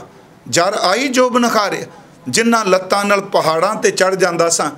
ਕਹਿੰਦੇ ਨੇ, ਅੱਜ ਵੁਜ਼ੂ ਕਰਨਾ ਤੇ ਕੁਝਾ ਪਾਣੀ ਦਾ ਸਰਾਣੇ ਪਿਆ ਤੇ ਇੰਨੀ ਵੀ ਤਨ ਵਿੱਚ ਸਤਿਆ ਨਹੀਂ ਰੱਖੀ ਕਿ ਉੱਠ ਕੇ ਪਾਣੀ ਦਾ ਕੁਝਾ ਚੁੱਕ ਕੇ ਮੈਂ ਵੁਜ਼ੂ ਹੀ ਕਰ ਸਕਾਂ। ਬਾਬਾ ਸਾਹਿਬ ਦੇ ਬਚਨ ਨੇ, ਇੰਨੀ ਨਿੱਕੀ ਜੰਗੀ ਹੈ, ਥਲ ਡੂੰਗਰ ਪਵਿਓਮ, ਅੱਜ ਫਰੀਦਾ ਕੁਜੜਾ ਸਹਿ ਕੋਹਾਂ ਥਿਓਮ, ਅੱਜ ਸਰਾਣੇ ਪਿਆ ਹੋਇਆ ਕੁਝਾ ਵੀ ਸੈਂਕੜੇ ਕੋਖ ਹੈ। ਮੈਂ ਇੱਥੇ ਦੋ ਕੁ ਬੇਨਤੀਆਂ ਆਪ ਨੂੰ ਹੋਰ ਕਰਾਂਗਾ। ਦੇਖੋ, ਇੱਥੇ ਸਤਿਗੁਰੂ ਨੇ ਬਿਲਕੁਲ ਇਹ ਸੱਚ ਕਿਹਾ, ਪਹਿਲਾ ਜਵਾਨੀ ਹੈ, ਜਵਾਨੀ ਤੋਂ ਬਾਅਦ ਬੁਢੇਪਾ ਹੈ, ਹੁਣ ਬਿਰਧ ਪਇਓ ਸੂਝਾ ਨਹੀਂ, ਕਾਲ ਪਹੁੰਚਿਆ, ਸਾਹਮਣੇ ਮੌਤ ਹੈ। ਪਰ ਬੰਦਾ ਛੇਤੀ ਕਿਤਿਆਂ ਬੁਢੇਪੇ ਵੀ ਜਾ ਕੇ ਮੌਤ ਦੀ ਗੱਲ ਬਹੁ ਗਿਣਤੀ 'ਚ ਨਹੀਂ ਕਰਦੇ। ਡਰ ਲੱਗਦਾ 50 ਤੋਂ ਬਾਅਦ ਬੰਦਾ 50 ਸਾਲਾਂ ਤੋਂ ਬਾਅਦ ਸੱਚੀ ਮੁੱਚੀ ਬੰਦਾ 1 ਸਾਲ ਦੀ ਖਲੋ ਜਾਂਦਾ ਜੇ ਕੋਈ ਪੁੱਛੋ ਕਈ ਕਈ ਸਾਲ ਆਪਣੀ ਉਮਰ 50 50 51 50 51 ਦੱਸੀ ਜਾਂਦਾ ਕਿਉਂਕਿ ਅੱਗੇ ਦੱਸੇਗਾ ਡਰ ਲੱਗਦਾ ਪਏ ਨਹੀਂ ਪਿਆਰਿਓ, ਜਿਹਦਾ ਅੰਦਰ ਜਾਗ ਪਵੇ, ਜਿਹਨੂੰ 12 ਸਾਲ ਦੀ ਉਮਰ ਵਿੱਚ ਸਮਝ ਪੈ ਜਾਏ, ਸੱਚੀ ਗੱਲ ਉਹ ਸਹੀ ਅਰਥਾਂ ਦੇ ਵਿੱਚ ਰੋਹਾਨੀਅਤ ਦਾ ਬਿਰਧ ਬਣ ਜਾਂਦਾ ਹੈ। ਜਿਹਨੂੰ ਸਮਝ ਪੈ ਜਾਏ, ਜਿਵੇਂ ਇੱਕ ਉਦਾਹਰਨ ਦੱਸ ਦਿੰਦਾ ਕਿ ਧੰਨ ਗੁਰੂ ਨਾਨਕ ਸਾਹਿਬ ਜੀ ਨੂੰ 12 ਸਾਲ ਦੀ ਉਮਰ 'ਚ ਭਾਈ ਬੂੜਾ ਜੀ ਮਿਲਦੇ ਨੇ। 1506 ਨੂੰ ਬਾਬਾ ਜੀ ਦਾ ਜਨਮ ਹੈ, ਬੁੱਢਾ ਸਾਹਿਬ ਜੀ ਦਾ। ਮਾਪਿਆਂ ਨਾਂ ਬੂੜਾ ਰੱਖਿਆ। 1518 ਨੂੰ ਮੇਰੀ ਸੱਚੀ ਸਰਕਾਰ ਗੁਰੂ ਨਾਨਕ ਸਾਹਿਬ ਨੂੰ ਮਿਲਦੇ ਨੇ। ਤੇ 1631 ਨੂੰ ਉਹ ਮਹਾਂਪੁਰਖ ਆਪਣਾ ਚੋਲਾ ਛੱਡਦਾ ਮੈਂ ਇਸ ਕਰਕੇ ਬੇਨਤੀ ਕਰ ਲੱਗਾ ਕਿ ਇੱਕ ਪੱਖ ਇਹ ਵੀ ਹੈ ਕਿ ਬੁਢੇਪਾ ਆ ਜਿਹੜਾ ਬੁਢੇਪਾ ਇਹ ਕੋਈ ਸੁਝੇ ਨਹੀਂ। ਹੁਣ ਉੱਥੇ ਸਤਿਗੁਰੂ ਨੂੰ ਸ਼ਬਦ ਬੁੱਢਾ ਕਿਹਾ। ਉਹ ਉਮਰ ਦੇ ਲਿਹਾਜ਼ ਨਾਲ ਨਹੀਂ ਕਿਹਾ। ਸਾਡਾ ਇਤਿਹਾਸ ਕਹਿੰਦਾ ਹੈ ਕਿ ਬਾਬਾ ਸਾਹਿਬ ਜੀ ਨੂੰ ਭਾਈ ਬੂੜਾ ਜੀ ਮਿਲਦੇ ਆ। ਉਸ ਵਿੱਚ ਜੋ ਭਾਈ ਮਨੀ ਸਿੰਘ ਨੇ ਸਿੱਖਾਂ ਦੀ ਭਗਤਮਾਲ ਚ ਲਿਖਿਆ ਹੈ, ਮੈਂ ਸੰਖੇਪ ਜਿਹਾ ਸ਼ਬਦ ਕਹਿਣਾ ਉਸ 12 ਸਾਲ ਦੇ ਬੱਚੇ ਨੇ ਹਜ਼ੂਰ ਦੇ ਕੋਲ ਬੈਠੇ ਆ। ਪੁੱਛਦੇ ਆ, ਸੰਤ ਜੀ, ਮਹਾਂਪੁਰਖੋ ਜਾਂ ਬਾਬਾ ਜੀ? ਇਹ ਜਨਮ ਮਰਨ ਕਿਵੇਂ ਕੱਟਿਆ ਜਾ ਸਕਦਾ ਹੈ? ਮਹਾਰਾਜ ਖਮੋਸ਼ ਨੇ ਫਿਰ ਪੁੱਛਦੇ ਆ ਕਿ ਇਹ ਮੌਤ ਦਾ ਭੈ ਜਿਹੜਾ ਸਾਰੇ ਸੰਸਾਰ ਨੂੰ ਸਤਾਉਂਦਾ ਹੈ, ਇਹਦੇ ਤੋਂ ਮੁਕਤ ਹੋ ਸਕੀਦਾ ਹੈ? ਮਹਾਰਾਜ ਮੁਸਕਰਾ ਕੇ ਕਹਿੰਦੇ ਆ, ਬੇਟਾ, ਤੇਰੀ ਉਮਰ ਆਪਣੀ ਆਰਬਲਾ ਦੱਸ ਦੇ ਕਿ ਮੇਰੀ ਉਮਰ ਇੰਨੀ। ਤੇ ਅਗਲਾ ਸ਼ਬਦ ਹੈ, ਸਤਿਗੁਰੂ ਕਹਿੰਦੇ ਆ ਕਿ ਤੇਰੀ ਉਮਰ ਇੰਨੀ ਛੋਟੀ, ਮੌਤ, ਜਨਮ ਮਰਨ ਤੋਂ ਰਹਿਤ, ਵਾਸ਼ਨਾ ਤੋਂ ਰਹਿਤ।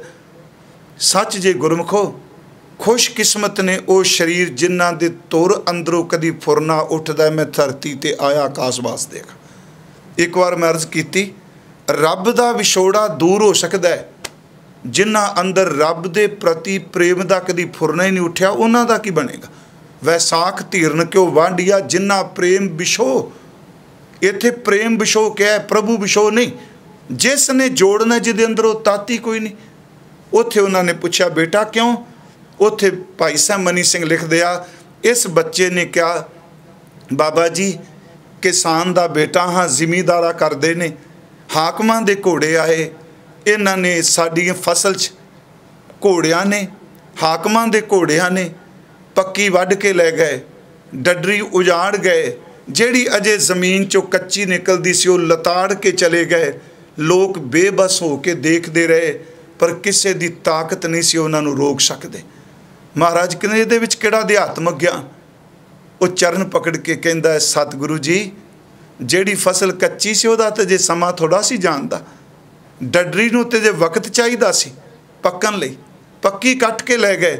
ਬਸ ਮੈਨੂੰ ਉਦਨ ਦੀ ਸੱਟ ਪੈ ਗਈ ਮਨਾ ਇਹ ਤਾਕਤਾਂ ਵਾਲੇ ਆਏ, ਤਾਕਤ ਵਾਲੇ ਆਏ, ਇਹ ਕੱਚੀ ਪੱਕੀ ਜੰਮਦੀ ਸਾਰੀ ਫਸਲ ਤਬਾਹ ਕਰ ਗਏ। ਜਮਦੂਤ ਤਾਂ ਇੰਨਾ ਸ਼ਕਤੀਸ਼ਾਲੀ ਹੈ, ਉਹ ਬਚਪਨ ਵਿੱਚ ਵੀ ਲੈ ਜਾਏ, ਉਹ ਜਵਾਨੀ ਵਿੱਚ ਵੀ ਲੈ ਜਾਏ, ਬੁਢੇਪੇ ਵਿੱਚ ਤਾਂ ਉਹਨੇ ਲਿਜਾਣਾ ਹੀ ਲਿਜਾਣਾ ਹੈ ਮਹਾਰਾਜ ਉੱਥੇ ਇੱਕ ਸ਼ਬਦ ਕਹਿੰਦੇ ਆ ਕਿ ਬੇਟਾ, ਉਮਰ ਤੇਰੀ ਬੱਚਿਆਂ ਵਾਲੀ ਏ, ਪਰ ਗੱਲਾਂ ਤੂੰ ਬੁੱਢਿਆਂ ਵਾਲੀਆਂ ਕਰਨਾ ਹੈ। ਮੈਂ ਇੱਥੇ ਇੱਕ ਬੇਨਤੀ ਕਰਾਂਗੇ ਤੇ ਜੇ ਬੁੱਢਾ ਲਫ਼ਜ਼ ਗਿਆ, ਉਹ ਬੜਾ ਡੂੰਗਾ ਹੈ। ਹਾਲਾਂ ਭਾਈ ਗੁਰਦਾਸ ਸਾਹਿਬ ਨੇ ਦੋਨੋਂ ਨਾਮ ਦਿੱਤੇ ਆ ਕਿ ਅਜਿੱਤਾ ਰੰਧਾਵਾ ਭਲਾ ਹੈ ਤੇ ਬਾਬਾ ਜੀ ਦੇ ਦੋਨੋਂ ਨਾਂ ਦਿੱਤੇ ਆ, ਬੂੜਾ, ਬੁੱਢਾ ਇੱਕ ਮੰਤਿਆਵ ਹੈ। ਭਾਈ ਬੂੜਾ ਤੇ ਨਾਲ ਸ਼ਬਦ ਵਰਤਿਆ ਬੁੱਢਾ। ਹੁਣ ਇਹ ਕਿਉਂ ਕਹਿ ਦਿੱਤਾ ਕਿ ਉਮਰ ਤੇਰੀ ਬੱਚਿਆਂ ਵਾਲੀ ਏ ਤੇ ਸੁਰਤ ਤੇਰੀ ਬੁੱਢਿਆਂ ਵਾਲੀ ਹੈ? ਜਿੰਨੀ ਕੋ ਦਾਸ ਨੂੰ ਸੋਝੀ ਪਈ, ਮੈਨੂੰ ਇੰਜ ਲੱਗਦਾ ਹੈ, ਜਿਹੜਾ ਅੱਜ ਦਾ ਸ਼ਲੋਕ ਹੈ ਕਿ ਜਦੋਂ ਬੰਦਾ ਮਾਂ ਦੇ ਗਰਭ 'ਚ ਹੁੰਦਾ ਹੈ, ਉਦੋਂ ਮਾਂ ਭਵਿੱਖ ਦੀ ਗੱਲ ਕਰਦੀ ਹੈ ਬਾਬਾ ਜੀ ਨੇ ਕਿਹਾ ਕਿ ਜਿਉ ਜਨਨੀ ਗਰਭ ਪਾਲਤੀ, ਸੁਤ ਕੀ ਕਰ ਆਸਾ, ਵੱਡਾ ਹੋਏ ਤਨ ਖਾਟ ਦੇ ਕਰ ਭੋਗ ਬਿਲਾਸਾ। ਅਜੇ ਜੰਮਿਆ ਨਹੀਂ, ਪਰ ਮਾਂ ਕਹਿ ਰਹੀ, ਜੇ ਪੁੱਤਰ ਹੋਵੇਗਾ, ਧਨ ਦੌਲਤ ਕਮਾ ਕੇ ਲਿਆਏਗਾ। ਜਦੋਂ ਬੱਚੇ ਦਾ ਜਨਮ ਹੁੰਦਾ ਹੈ, ਅਜੇ ਪਤਾ ਨਹੀਂ ਉਹਨੇ ਕਿਸ ਰੁਤਬੇ ਤੇ ਪਹੁੰਚਣਾ ਮਾਂ ਕਹੇਗੀ, ਰਾਜਾ ਹੈ, ਮੇਰਾ ਪੁੱਤਰ ਡਾਕਟਰ ਹੈ, ਉਹ ਭਵਿੱਖ ਦੀ ਗੱਲ ਕਰੇਗੀ। ਬੱਚਾ ਪ੍ਰਾਇਮਰੀ ਸਕੂਲ ਜਾਏਗਾ, ਉਹ ਕਹੇਗਾ, ਮੈਂ ਵੱਡਾ ਹੋ ਕੇ ਬੰਨਣਾ ਸੱਚ ਇਹ ਵੇ, ਬਚਪਨ ਵਿੱਚ ਬੰਦਾ ਆਉਣ ਵਾਲੇ ਭਵਿੱਖ ਜਵਾਨੀ ਦੀ ਗੱਲ ਕਰਦਾ ਹੈ। ਜਵਾਨੀ ਵਿੱਚ ਕਹੇ ਕੋਈ ਬੰਦੇ ਅਕਸਰ ਕਹਿੰਦੇ ਆ ਹੱਡ ਭੰਨਵੀਂ ਮਿਹਨਤ ਕਰੋ, ਬੁਢੇਪੇ 4 ਦਿਨ ਬਹਿ ਜਾਾਂਗੇ। ਭਵਿੱਖ ਦੀ ਗੱਲ ਕਰਦੇ ਆ।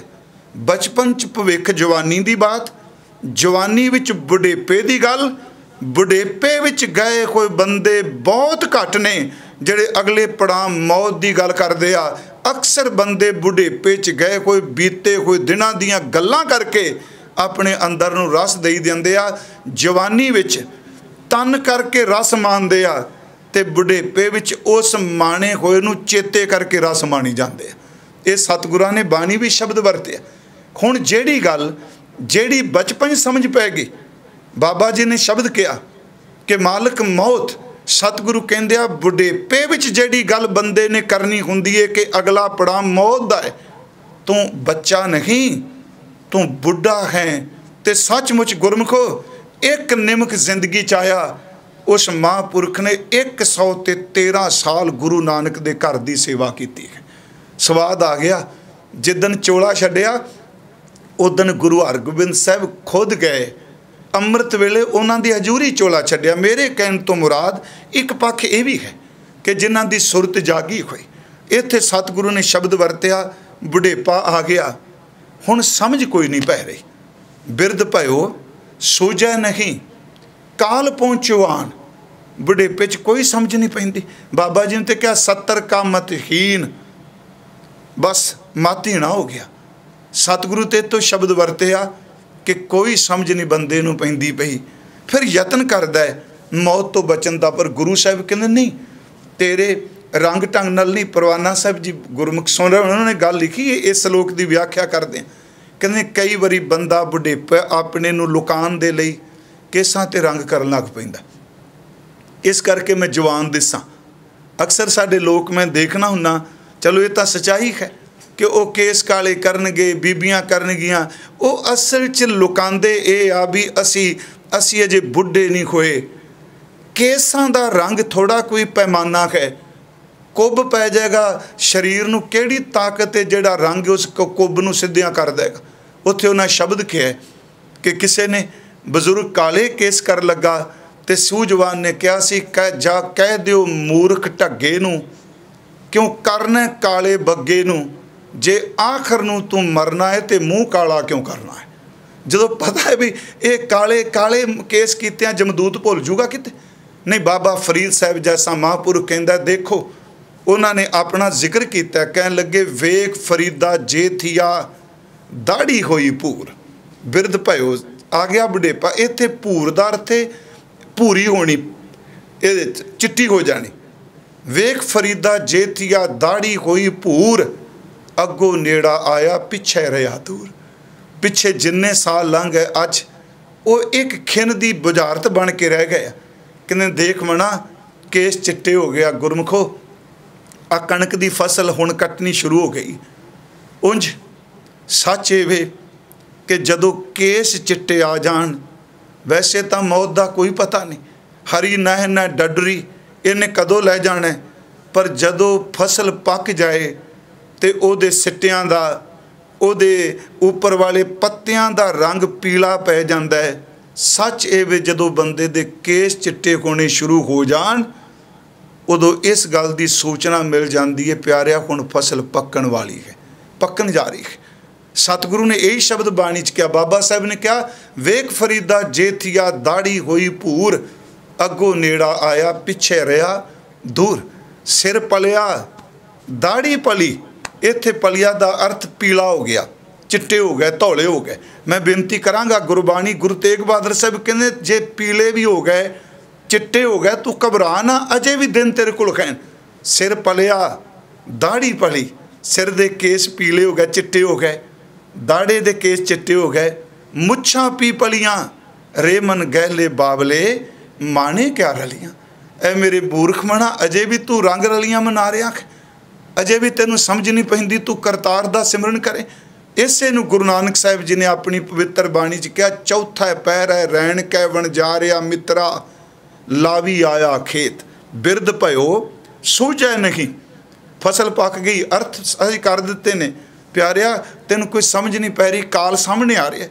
ਚੌਥਾ ਪੈਰ ਹੈ ਰਹਿਣ ਕੈ ਵਣ ਜਾ ਰਿਆ ਮਿੱਤਰਾ, ਲਾਵੀ ਆਇਆ ਖੇਤ, ਲਾਵੀ ਦਾ ਅਰਥ ਜਦੋਂ ਖੇਤ ਖੇਤ ਪੱਕ ਜਾਏ ਤੇ ਅਸੀਂ ਕਾਮੇ ਲਾਵੇ ਕਹਿੰਦੇ ਆ ਲਿਆਓ ਜੀ, ਵਾਢੀ ਪਾਣ ਦਾ ਮੌਕਾ ਆ ਗਿਆ, ਕਾਮੇ ਸੱਦੋ। ਮਹਾਰਾਜ ਕਹਿੰਦੇ ਨੇ, ਜੇ ਇਹ ਕਹਿ ਜੀ ਕਾਮੇ ਨਹੀਂ ਬੁਲਾਣੇ ਨਾ ਬੁਲਾਏਗਾ ਤੇ ਫਸਲ ਆਪਣੇ ਆਪ ਖੇਤਾਂ ਡਿੱਗ ਪੈਗੀ। ਕਿਉਂਕਿ ਜਦੋਂ ਦਾ ਸਮਾਂ ਮੁਕੰਮਲ ਹੋ ਚੁੱਕਾ ਹੈ, ਚੌਥਾ ਪੈਰ ਹੈ ਰਹਿਣ ਕੇ ਵਣ ਜਾ ਰਿਹਾ, ਮਿੱਤਰਾ ਲਾਵੀ ਆਇਆ ਖੇਤ, ਜਾਂ ਜਮ ਪਕੜ ਚਲਾਇਆ, ਵਣ ਜਾ ਰਿਹਾ, ਮਿੱਤਰਾ ਕਿਸੇ ਨਾ ਮਿਲਿਆ ਭੇਤ। ਇਹ ਫਸਲ ਪੱਕ ਚੁੱਕੀ ਹੈ।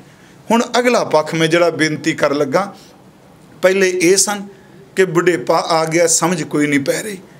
ਸੱਚ ਹੈ ਕਿ ਜਿਵੇਂ ਸਾਡੇ ਅੱਜ ਸਮਾਜ ਦੀ ਬੰਤਰ ਬਣੀ ਹੋਈ ਹੈ, ਕਈ ਵਾਰੀ ਅਸੀਂ ਬਜ਼ੁਰਗਾਂ ਦੀ ਗੱਲ ਨੂੰ ਬੜੀ ਇਗਨੋਰ ਵੀ ਕਰਨੇ ਆ, ਸੁਣਦੇ ਵੀ ਨਹੀਂ।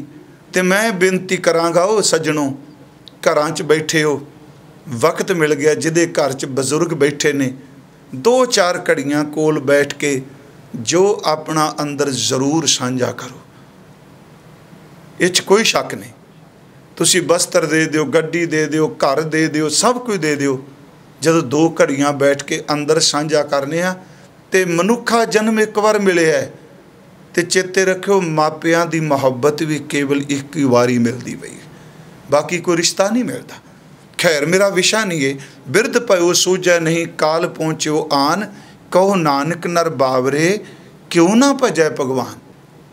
ਮਹਾਰਾਜ ਕਹਿੰਦੇ ਨੇ, ਝੱਲੇ ਉਹ ਬਾਬਰੇ ਬੰਦਿਆ ਜੇ ਬੁਢੇਪਾ ਹੀ ਆ ਗਿਆ, ਹੁਣ ਇਹਨੂੰ ਕਿਉਂ ਜਾਈ ਗਵਾ ਰਿਹਾ ਗੁਰੂ ਗ੍ਰੰਥ ਸਾਹਿਬ ਦੀ ਬਾਣੀ ਨੇ ਆਹ ਹੈ ਸੁਰਤ ਨੂੰ ਡਿੱਗਣ ਨਾ ਦੇਣਾ।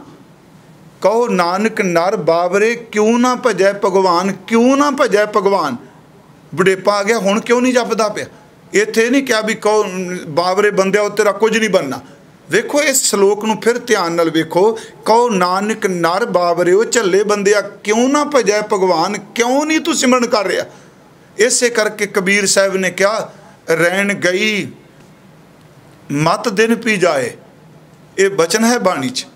ਰਹਿਣ ਦਾ ਲਫ਼ਜ਼ੀ ਅਰਥ ਰਾਤ ਹੈ। ਰਾਤ ਹੁੰਦੀ ਹੈ ਕਾਲੀ। ਕਾਲੀ ਪ੍ਰਤੀਕ ਹੈ ਜਵਾਨੀ ਦੇ ਦਿਨ ਜਦੋਂ ਕੇਸ ਕਾਲੇ ਨੇ। ਰਹਿਣ ਗਈ, ਮਤ ਦਿਨ ਪੀ ਜਾਏ। ਦਿਨ ਹੁੰਦਾ ਚਿੱਟਾ ਤੇ ਕੇਸ ਹੋ ਗਿਆ ਚਿੱਟੇ। ਇੱਥੇ ਰਹਿਣ ਜਵਾਨੀ ਦੇ ਵਕਤ ਨੂੰ ਕਿਹਾ ਤੇ ਜਿਹੜਾ ਦਿਨ ਚਿੱਟਾ ਹੈ, ਉਹ ਬੁਢੇਪੇ ਦੇ ਸਮੇਂ ਨੂੰ ਕਿਹਾ ਹੈ। ਰਹਿਣ ਗਈ, ਮਤ ਦਿਨ ਪੀ ਜਾਏ, ਮਤਾਂ ਬੁਢੇਪਾ ਚਲਾ ਜਾਏ। ਭਵਰ ਗਏ, ਬਗ ਬੈਠੇ ਆਏ। ਭਵਰੇ ਦਾ ਰੰਗ ਹੁੰਦਾ ਕਾਲਾ, ਕੇਸ਼ ਕਾਲੇ ਭਵਰੇ ਸਨ, ਉਹ ਚਲੇ ਗਏ ਤੇ ਬਗਲੇ ਦਾ ਰੰਗ ਹੈ ਸ਼ਵੇਤ। ਆ ਜਿਹੜਾ ਵਕਤ ਤੈਨੂੰ ਮਿਲਿਆ, ਬੁਢੇਪੇ ਦਾ ਸਮਾਂ ਮਿਲਿਆ ਦੇਖ ਇਹ ਹੀ ਸਾਂਭ ਲੈ ਕਿਤੇ ਇਹ ਹੀ ਵਿਅਰਥ ਨਾ ਚਲਾ ਜਾਏ। ਰਹਿਣ ਗਈ, ਮਤ ਦਿਨ ਪੀ ਜਾਏ, ਭਵਰ ਗਏ, ਬਗ ਬੈਠੇ ਆਏ। ਪਿਆਰਿਓ, ਏਡੀ ਵੱਡੀ ਚੜ੍ਹਦੀ ਕਲਾ ਆ ਵੀ ਬੁਢੇਪਾ, ਮੈਂ ਕਿ ਅਰਜ਼ ਕੀਤੀ, ਜਵਾਨੀ ਨੂੰ ਬੁਢੇਪਾ ਜਿੱਤ ਕੇ ਆ, ਬੁਢੇਪੇ ਸਾਹਮਣੇ ਮੌਤ ਖਲੋਤੀ, ਕਾਲ ਪਹੁੰਚਿਆਨ ਪਰ ਸਤਿਗੁਰੂ ਜਿਹੜਾ ਪਹੁੰਚਿਓ ਸ਼ਬਦ ਹੈ, ਇਹਦੇ ਵਿੱਚ ਦਾ ਜਿਹੜਾ ਸਮਾਂ ਹੈ, ਜਿਹੜੇ ਅਜੇ ਆਈ ਨਹੀਂ, ਆ ਰਹੀ ਹੈ, ਨੇੜੇ ਆ ਗਈ ਹੈ। ਸਤਿਗੁਰੂ ਗੁਰੂ ਤੇਗ ਬਹਾਦਰ ਕਹਿੰਦੇ ਨੇ, ਇਸ ਸਮੇਂ ਨੂੰ ਵੀ ਨਾ ਅਜਾਈ ਜਾਣ ਦੇ, ਇਹ ਹੈ ਗੁਰੂ ਨਾਨਕ ਸਾਹਿਬ ਦੇ ਘਰ ਦੀ ਬਖਸ਼ਿਸ਼ ਤੇ ਸ਼ਬਦ ਦੀ ਚੜ੍ਹਦੀ ਕਲਾ। ਹਾਲਾਂਕਿ ਮੈਨੂੰ ਪਤਾ ਹੈ ਕਿ ਬਾਬਾ ਫਰੀਦ ਸਾਹਿਬ ਨੇ ਆਪਣੇ ਇੱਕ ਸ਼ਲੋਕ ਵਿੱਚ ਬਖਸ਼ਿਸ਼ ਕਰਕੇ ਕਿਹਾ ਸੀ ਕਿ ਕਾਲੀ ਜਿਨੇ ਨਾ ਰਾਵੇ ਉਹ ਧੌਲੀ ਰਾਵੇ ਕੋਏ। ਜਿਨੇ ਜਵਾਨੀ ਚ ਚੇਤੇ ਨਹੀਂ ਕੀਤਾ, ਉਹਨੇ ਬੁਢੇਪੇ ਚ ਕੀ ਕਰਨਾ ਜੀ? ਕਾਲੀ ਜਿਨੀ ਨਾ ਰਾਵੇ ਉਹ ਧੌਲੀ ਰਾਵੇ ਕੋਏ, ਕਰ ਸਾਈਂ ਸਿਓ ਪਿਰਹੜੀ ਰੰਗ ਨਵੇਲਾ ਹੋਏ। ਇਸ ਸ਼ਲੋਕ ਵਿੱਚ ਕੋਈ ਸ਼ੱਕ ਨਹੀਂ। ਮੈਂ ਅੱਗੇ ਕਿਹਾ, ਸਵਸਤ ਅਵਸਥਾ ਹਰ ਕੀ ਸੇਵਾ ਬਾਣੀ ਨੇ ਕਿਹਾ ਪਰ ਗੁਰੂ ਅਮਰਦਾਸ ਦੀ ਜ਼ਿੰਦਗੀ ਦਾ ਤਜਰਬਾ ਹੈ। ਉਹਨਾਂ ਨੇ 12 ਸਾਲ ਗਾਗਰ ਢੋਈਏ। ਉਹਨਾਂ ਨੇ ਇਬਾਦਤ ਕੀਤੀ ਹੈ ਤੇ ਸੱਚ ਇਹ ਉਹ ਬੁਢੇਪੇ ਦੇ ਦਿਨਾਂ 'ਚ ਗਾਖੜੀ ਕਾਰ ਕਮਾ ਕੇ ਗੁਰੂ ਪਦ ਤੇ ਅਸੀਨ ਹੋ ਕੇ ਕਹਿੰਦੇ ਨੇ, ਕਾਲੀ ਧੌਲੀ ਸਾਹਿਬ ਸਦਾ ਹੈ, ਜੇ ਕੋ ਚਿਤ ਕਰੇ, ਆਪਣਾ ਲਾਇਆ ਪਿਰਮ ਨਾ ਲੱਗਈ, ਜੇ ਲੋਚੈ ਸਭ ਕੋਏ, ਇਹ ਪਿਰਮ ਪਿਆਲਾ ਖਸਮ ਕਾ ਜੈ ਭਾਵੈ ਤੈ ਦੇ। ਉਹ ਵੱਡੀ ਉਦਾਹਰਨ ਦੇ ਰਹੇ ਆ। ਮੈਂ ਬੇਨਤੀ ਕਰਾਂਗਾ ਕਿ ਗੁਰੂ ਜੀ ਕਹਿੰਦੇ ਆ, ਹੁਣ ਵੀ ਤੂੰ ਸਿਮਰਨ ਕਰ। ਆ ਜਿਹੜਾ ਸਮਾਂ ਤੇਰੇ ਕੋਲ ਬੁਢੇਪੇ ਦਾ ਇਹਨੂੰ ਕਿਉਂ ਜਾਈ ਗਵਾਨ ਹੈ? ਇਹਦੇ ਵਿੱਚ ਰੱਬ ਦੀ ਬੜੀ ਬਖਸ਼ਿਸ਼, ਕਿਉਂਕਿ ਮੈਂ ਅਰਜ਼ ਕੀਤੀ, ਬੁਢੇਪੇ ਵਿੱਚ ਅਕਸਰ ਉਹ ਗੱਲਾਂ ਫੁਰਨੀਆਂ ਦੇ ਰੂਪ ਵਿੱਚ ਸਤਾਉਂਦੀਆਂ ਨੇ, ਜਿਹੜੀਆਂ ਬੰਦੇ ਨੇ ਜਵਾਨੀ ਵਿੱਚ ਕਰਮ ਕਰਕੇ ਭੋਗੀਆਂ ਹੁੰਦੀਆਂ ਨੇ। ਗੁਰੂ ਸਾਹਿਬ ਜੀ ਦਾ ਇੱਕ ਬਚਨ ਹੈ, ਭਗਤ ਬੇਣੀ ਜੀ ਦਾ। ਪੁੰਡਰ ਕੇਸ, ਕੁਸਮ ਤੇ ਧੌਲੇ, ਸ਼ਪਤ ਪਤਾਲ ਕੀ ਬਾਣੀ। ਪੁੰਡਰ ਕੇਸ ਬਿਰਧ ਭਇਓ, ਕੇਸ ਚਿੱਟੇ ਹੋ ਗਏ ਕਮਲ ਦੇ ਫੁੱਲ ਦੀ ਤਰ੍ਹਾਂ। ਧੌਲੇ ਹੋ ਗਏ। ਪੁੰਡਰ ਕੇਸ, ਕੁਸਮ ਤੇ ਧੌਲੇ, ਸਪਤ ਪਤਾਲ ਕੀ ਬਾਣੀ। ਜਦੋਂ ਬੰਦਾ ਬੋਲਦਾ ਇੰਜ ਲੱਗਦਾ ਜਿਵੇਂ ਸਤਵੇਂ ਪਤਾਲ ਵਿੱਚੋਂ ਬੋਲ ਰਿਹਾ ਹੈ। ਲੋਚਨ ਸ਼ਰਮੈ ਅੱਖਾਂ 'ਚੋਂ ਪਾਣੀ ਨਹੀਂ ਬੰਦ ਹੁੰਦਾ ਪਿਆ। ਬੁੱਧ ਬਲ ਨਾਠੀ ਸੂਝੈ ਨਹੀਂ, ਸਮਝ ਵੀ ਨਹੀਂ ਪੈ ਰਹੀ, ਤਾਕਤ ਵੀ ਨਹੀਂ ਰਹੀ। ਤੇ ਅੱਗੇ ਗੱਲ ਧਿਆਨ ਨਾਲ ਸੁਣਿਓ ਕਿ ਕੇਸ ਚਿੱਟੇ ਹੋ ਗਏ, ਬੁੱਧ ਚਲੀ ਗਈ, ਬਲ ਚਲਾ ਗਿਆ, ਕੋਈ ਸਮਝ ਨਹੀਂ ਪੈਂਦੀ, ਆਵਾਜ਼ ਨਹੀਂ ਨਿਕਲਦੀ। ਪਰ ਮਹਾਰਾਜ ਕਹਿੰਦੇ, ਤਾਂ ਕਾਮ ਪਵ ਸਮਾਧਾਨੀ ਤਾਕਤ ਨਹੀਂ, ਬੁੱਧੀ ਨਹੀਂ। ਪਰ ਪਿਆਰਿਆ, ਤੇਰੀ ਸੁਰਤ ਵਿੱਚ ਤਾਂ ਉਹੀ ਕਾਮਨਾ ਦੇ ਫੁਰਨੇ ਚੱਲਦੇ ਪਏ ਜਿਹੜੇ ਜਵਾਨੀ ਤੂੰ ਭੋਗਦਾ ਰਿਹਾ ਪਰ ਇਸ ਨੂੰ ਜੇ ਬੁਢੇਪੇ ਵਿੱਚ ਜਿਹੜਾ ਸਮਾਂ ਮਿਲਿਆ ਹੈ, ਇਨਸਾਨ ਵੱਧ ਤੋਂ ਵੱਧ ਇਬਾਦਤ ਵਾਲੇ ਪਾਸੇ ਲਾਦਾ ਉਂਝ ਵੈਸੇ ਗੁਰੂ ਘਰ 'ਚ ਅਸਲੀ ਬਜ਼ੁਰਗੀ ਇਹ ਵੇ ਗਰ ਬਜ਼ੁਰਗੀ ਬਾਇਦਤ ਕੁਨ ਬੰਦਗੀ। ਵਰਨਾ ਆਖਰ ਮੇਕਸ਼ੀ ਸ਼ਰਮੰਦਗੀ ਇੱਕ ਉਦਾਹਰਨ ਦਾਸ ਆਪ ਜੀ ਨੂੰ ਸ਼੍ਰੀਮਾਨ ਭਾਈ ਸਾਹਿਬ ਭਾਈ ਵੀਰ ਸਿੰਘ ਜੀ ਉਹਨਾਂ ਦੇ ਜੀਵਨ ਨਾਲ ਸੰਬੰਧਿਤ ਇੱਕ ਘਟਨਾ ਹੈ। ਦਾਸ ਨੇ ਇੱਕ ਵਾਰੇ ਮੰਜੀ ਸਾਹਿਬ ਵੀ ਅਰਜ਼ ਕੀਤੀ ਸੀ। ਸਿਰਫ ਇਸ ਗੱਲ ਨੂੰ ਵੀ ਬੁਢੇਪਾ ਆ ਗਿਆ ਸਮਝ ਕੋਈ ਨਹੀਂ ਪੈ ਰਹੀ, ਕਾਲ ਦਿਸਦਾ ਪਿਆ ਉਹ ਨਰ ਬਾਬਰੇ, ਤੂੰ ਹੋਣੀ ਬੰਦਗੀ ਕਰ ਲੈ, ਇਹ ਆਈ 4 ਦਿਨ ਸਾਂਭ ਲੈ। 4 ਦਿਨ ਤਾਂ ਬੜੇ ਹੁੰਦੇ ਆ, ਮੈਂ ਜਿਹੜੀ ਉਦਾਹਰਨ ਦੇਣ ਲੱਗਾ, ਦੇਖੋ ਗੁਰੂ ਸਾਹਿਬ ਦੀ ਬਖਸ਼ਿਸ਼। ਸ਼੍ਰੀਮਾਨ ਭਾਈ ਸਾਹਿਬ, ਭਾਈ ਵੀਰ ਸਿੰਘ ਉਹਨਾਂ ਨੇ ਇਹ ਬਚਨ ਇੱਕ ਵਾਰ ਦਿੱਲੀ ਬੈਠਿਆਂ ਕੀਤੇ। ਪ੍ਰਸੰਗਲੀਆਂ ਵਿੱਚ ਵੀ ਨੇ, ਗੁਰਮੁਖ ਸਿੱਖਿਆ ਵਿੱਚ ਵੀ ਨੇ। ਮੈਂ ਸਿਰਫ ਇੱਕ ਉਹ ਬੇਨਤੀ ਕਰ ਲਈ। ਇਹ ਉਦਾਹਰਨਾਂ ਤਾਂ ਦਿੱਤੀਆਂ ਜਾਂਦੀਆਂ ਨੇ ਕਿ ਨਿਰਾਸ਼ ਹੋਏ ਬੰਦੇ ਨੂੰ ਚੜ੍ਹਦੀ ਕਲਾ ਮਿਲ ਜਾਏ। ਮੈਂ ਬੁਢੇਪੇ ਦਾ ਜ਼ਿਕਰ ਵੀ ਕੀਤਾ, ਜਵਾਨੀ ਦਾ ਵੀ ਕੀਤਾ, ਪਰ ਆ ਜਿਹੜੀ ਗੱਲ ਹੈ ਵੀ ਕਿਉਂ ਨਾ ਭਜੈ, ਭਗਵਾਨ ਤੂੰ ਕਿਉਂ ਨਹੀਂ ਜਪਦਾ? ਹੋਣੀ ਤਕੜਾ ਹੋ। ਸ਼ੈਲ ਲਗੰਦੇ ਪਾਰ ਗੋਰੀ ਮਨ ਧੀਰਿਆ। ਗੱਭਰੂ ਜਦੋਂ ਪਾਰ ਕਰਦੇ ਨੇ ਦਰਿਆਵਾਂ ਨੂੰ, ਕਮਜ਼ੋਰਾਂ ਦੇ ਮਨ ਵਿੱਚ ਵੀ ਤਾਕਤ ਆ ਜਾਂਦੀ ਹੈ। ਤਿਨਾ ਦੇਖ ਮਨ ਚਾਉ ਠੰਡਾ ਹੋ ਜਾਂਦਾ। ਸ਼੍ਰੀਮਾਨ ਭਾਈ ਵੀਰ ਸਿੰਘ ਕਹਿੰਦੇ ਆ, ਸਾਡੇ ਇੱਕ ਮਿੱਤਰ ਸਨ। ਜਵਾਨੀ ਦੇ ਮਿੱਤਰ। ਉਹ ਬਿਮਾਰ ਹੋ ਗਏ। ਬੜੀ ਵਾਰੀ ਸੰਗਤ ਨੇ ਸੁਣੀ ਵੀ ਹੋਣੀ, ਚਲੋ ਅੱਜ ਸਮਾਂ ਹੈ ਇਸ ਗੱਲ ਕਰਨ ਦਾ, ਗੁਰੂ ਸਾਹਿਬ ਦੀ ਵਡਿਆਈ ਹੈ।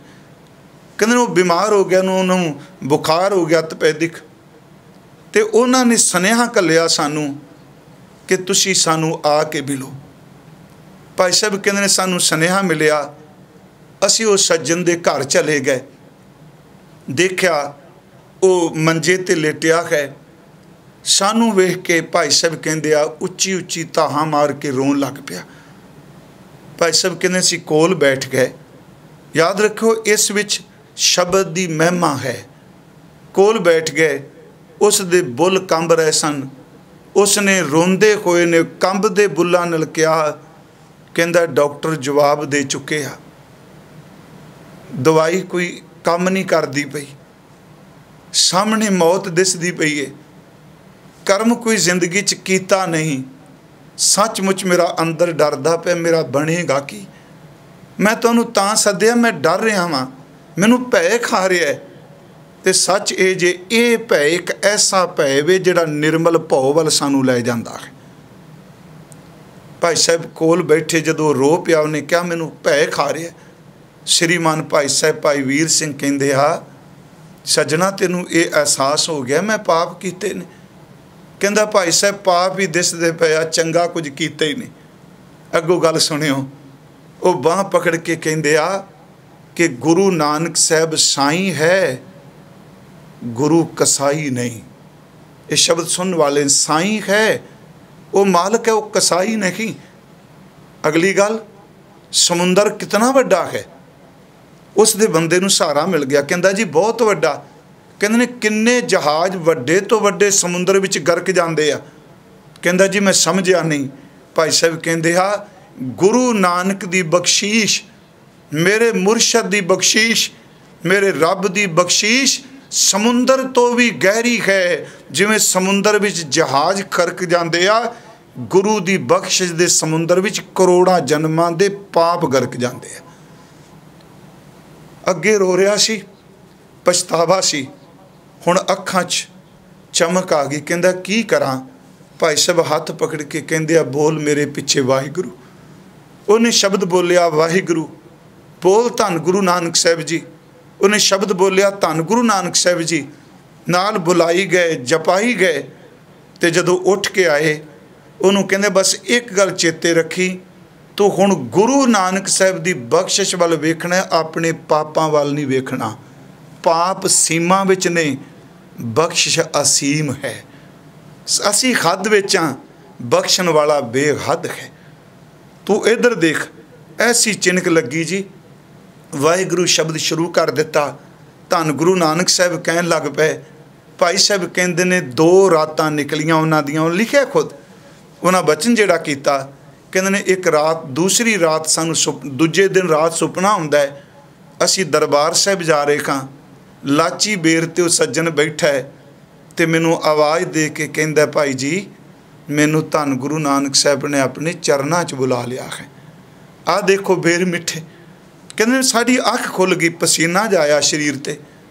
ਤੇ ਦੇਖਿਆ ਸਮਾਂ ਸਵਾ 1 ਸੀ, ਰਾਤ ਦਾ 1:15 ਮਿੰਟ ਹੋ ਚੁੱਕੇ ਸਨ। ਅਸੀਂ ਨੌਕਰ ਨੂੰ ਭੇਜਿਆ ਸਵੇਰੇ। ਜਦ ਪੁੱਛ ਕੇ ਆ, ਉਹਨਾਂ ਦੱਸਿਆ, ਜੀ, ਇਹ ਸੱਜਣ ਤਾਂ ਰਾਤ 1:15 ਮਿੰਟ ਤੇ ਚਲਾਣਾ ਕਰ ਚੁੱਕਾ ਹੈ, ਚਲਾਣਾ ਕਰ ਗਿਆ ਮੈਂ ਇੱਕ ਆਪ ਨੂੰ ਬੇਨਤੀ ਕਰਾਂ ਇਹ ਕੈਸਾ ਵਰਤਾਰਾ ਹੈ। ਗੁਰੂ ਕੇਵਲ ਆਮ ਮਾਸਟਰ ਨਾ ਸਮਝੀਏ। ਟੀਚਰ ਨਾ ਸਮਝੀਏ। ਗੁਰੂ ਤੇਗ ਬਹਾਦਰ ਕਹਿੰਦੇ ਨੇ, ਚੱਲ ਜਵਾਨੀ ਚਲੀ ਗਈ, ਬੁਢੇਪੇ ਨੇ ਜਵਾਨੀ ਨੂੰ ਜਿੱਤ ਲਿਆ ਹੈ। ਹੁਣ ਬੁਢੇਪੇ 'ਚ ਕੋਈ ਸਮਝ ਨਹੀਂ ਪੈਂਦੀ। ਪਰ ਅਜੂ ਸਮਝ ਕੱਚ ਵਿਗੜਿਓ ਨਾਹਿਨ ਭਜ ਲੈ RAM ਮੁਰਾਰ। ਅਜੇ ਵੀ ਕੁਝ ਨਹੀਂ ਵਿਗੜਿਆ। ਉਹ ਨਰ ਬਾਬਰੇ, ਤੂੰ ਉਸ ਕਰਤਾਰ ਨੂੰ, ਪਰਮਾਤਮਾ ਨੂੰ ਚੇਤੇ ਕਰ। ਸਤਿਗੁਰੂ ਕਿਰਪਾ ਕਰੇ, ਸਾਨੂੰ ਸਭ ਨੂੰ ਸਮਤ ਬਖਸ਼ੇ। ਇਹ ਦੋ ਸ਼ਲੋਕ ਫਿਰ ਧਿਆਨ ਨਾਲ ਸੁਣਿਓ। ਤਰਨਾਪੋ ਇਉਂ ਹੀ ਗਇਓ। ਜਵਾਨੀ ਐਵੇਂ ਚਲੀ ਗਈ। ਮਹਾਰਾਜ ਕਹਿੰਦੇ ਨੇ, ਲਿਓ ਜਰਾ ਤਨ ਜੀਤ, ਬੁਢੇਪੇ ਨੇ ਤਨ ਨੂੰ ਜਿੱਤ ਲਿਆ। ਕਹੋ ਨਾਨਕ, ਭਜ ਖਰ ਮਨਾ। ਮੇਰੇ ਮਨਾ, ਤੂੰ ਖਰੀ ਨੂੰ ਜਾਪੋਏ ਔਦ ਜਾਤ ਹੈ ਬੀਤ, ਉਮਰ ਲੰਘਦੀ ਪਈ ਹੈ ਬਿਰਧ ਭਇਓ, ਸੋਝੈ ਨਹੀਂ, ਕੋਈ ਸਮਝ ਨਹੀਂ ਪੈ ਰਹੀ। ਕਾਲ ਪਹੁੰਚਿਓ ਆਨ, ਸਮਾਂ ਆ ਗਏ ਤੇਰਾ ਮੌਤ ਦਾ ਸਾਹਮਣੇ। ਮਹਾਰਾਜ ਕਹਿੰਦੇ ਨੇ, ਇੱਕ ਕੰਮ ਕਰ, ਕਹੋ ਨਾਨਕ ਨਰ ਬਾਬਰੇ, ਕਿਉਂ ਨਾ ਭਜੈ ਭਗਵਾਨ? ਤੂੰ ਕਿਉਂ ਉਹਨੂੰ ਚੇਤੇ ਨਹੀਂ ਕਰਦਾ, ਉਹਦਾ ਸਿਮਰਨ ਨਹੀਂ ਕਰਦਾ? ਇੰਨੀਆਂ ਕੋ ਬੇਨਤੀਆਂ ਆਪ ਜੀ ਨੇ ਸਵੀਕਾਰ ਕਰਨੀਆਂ।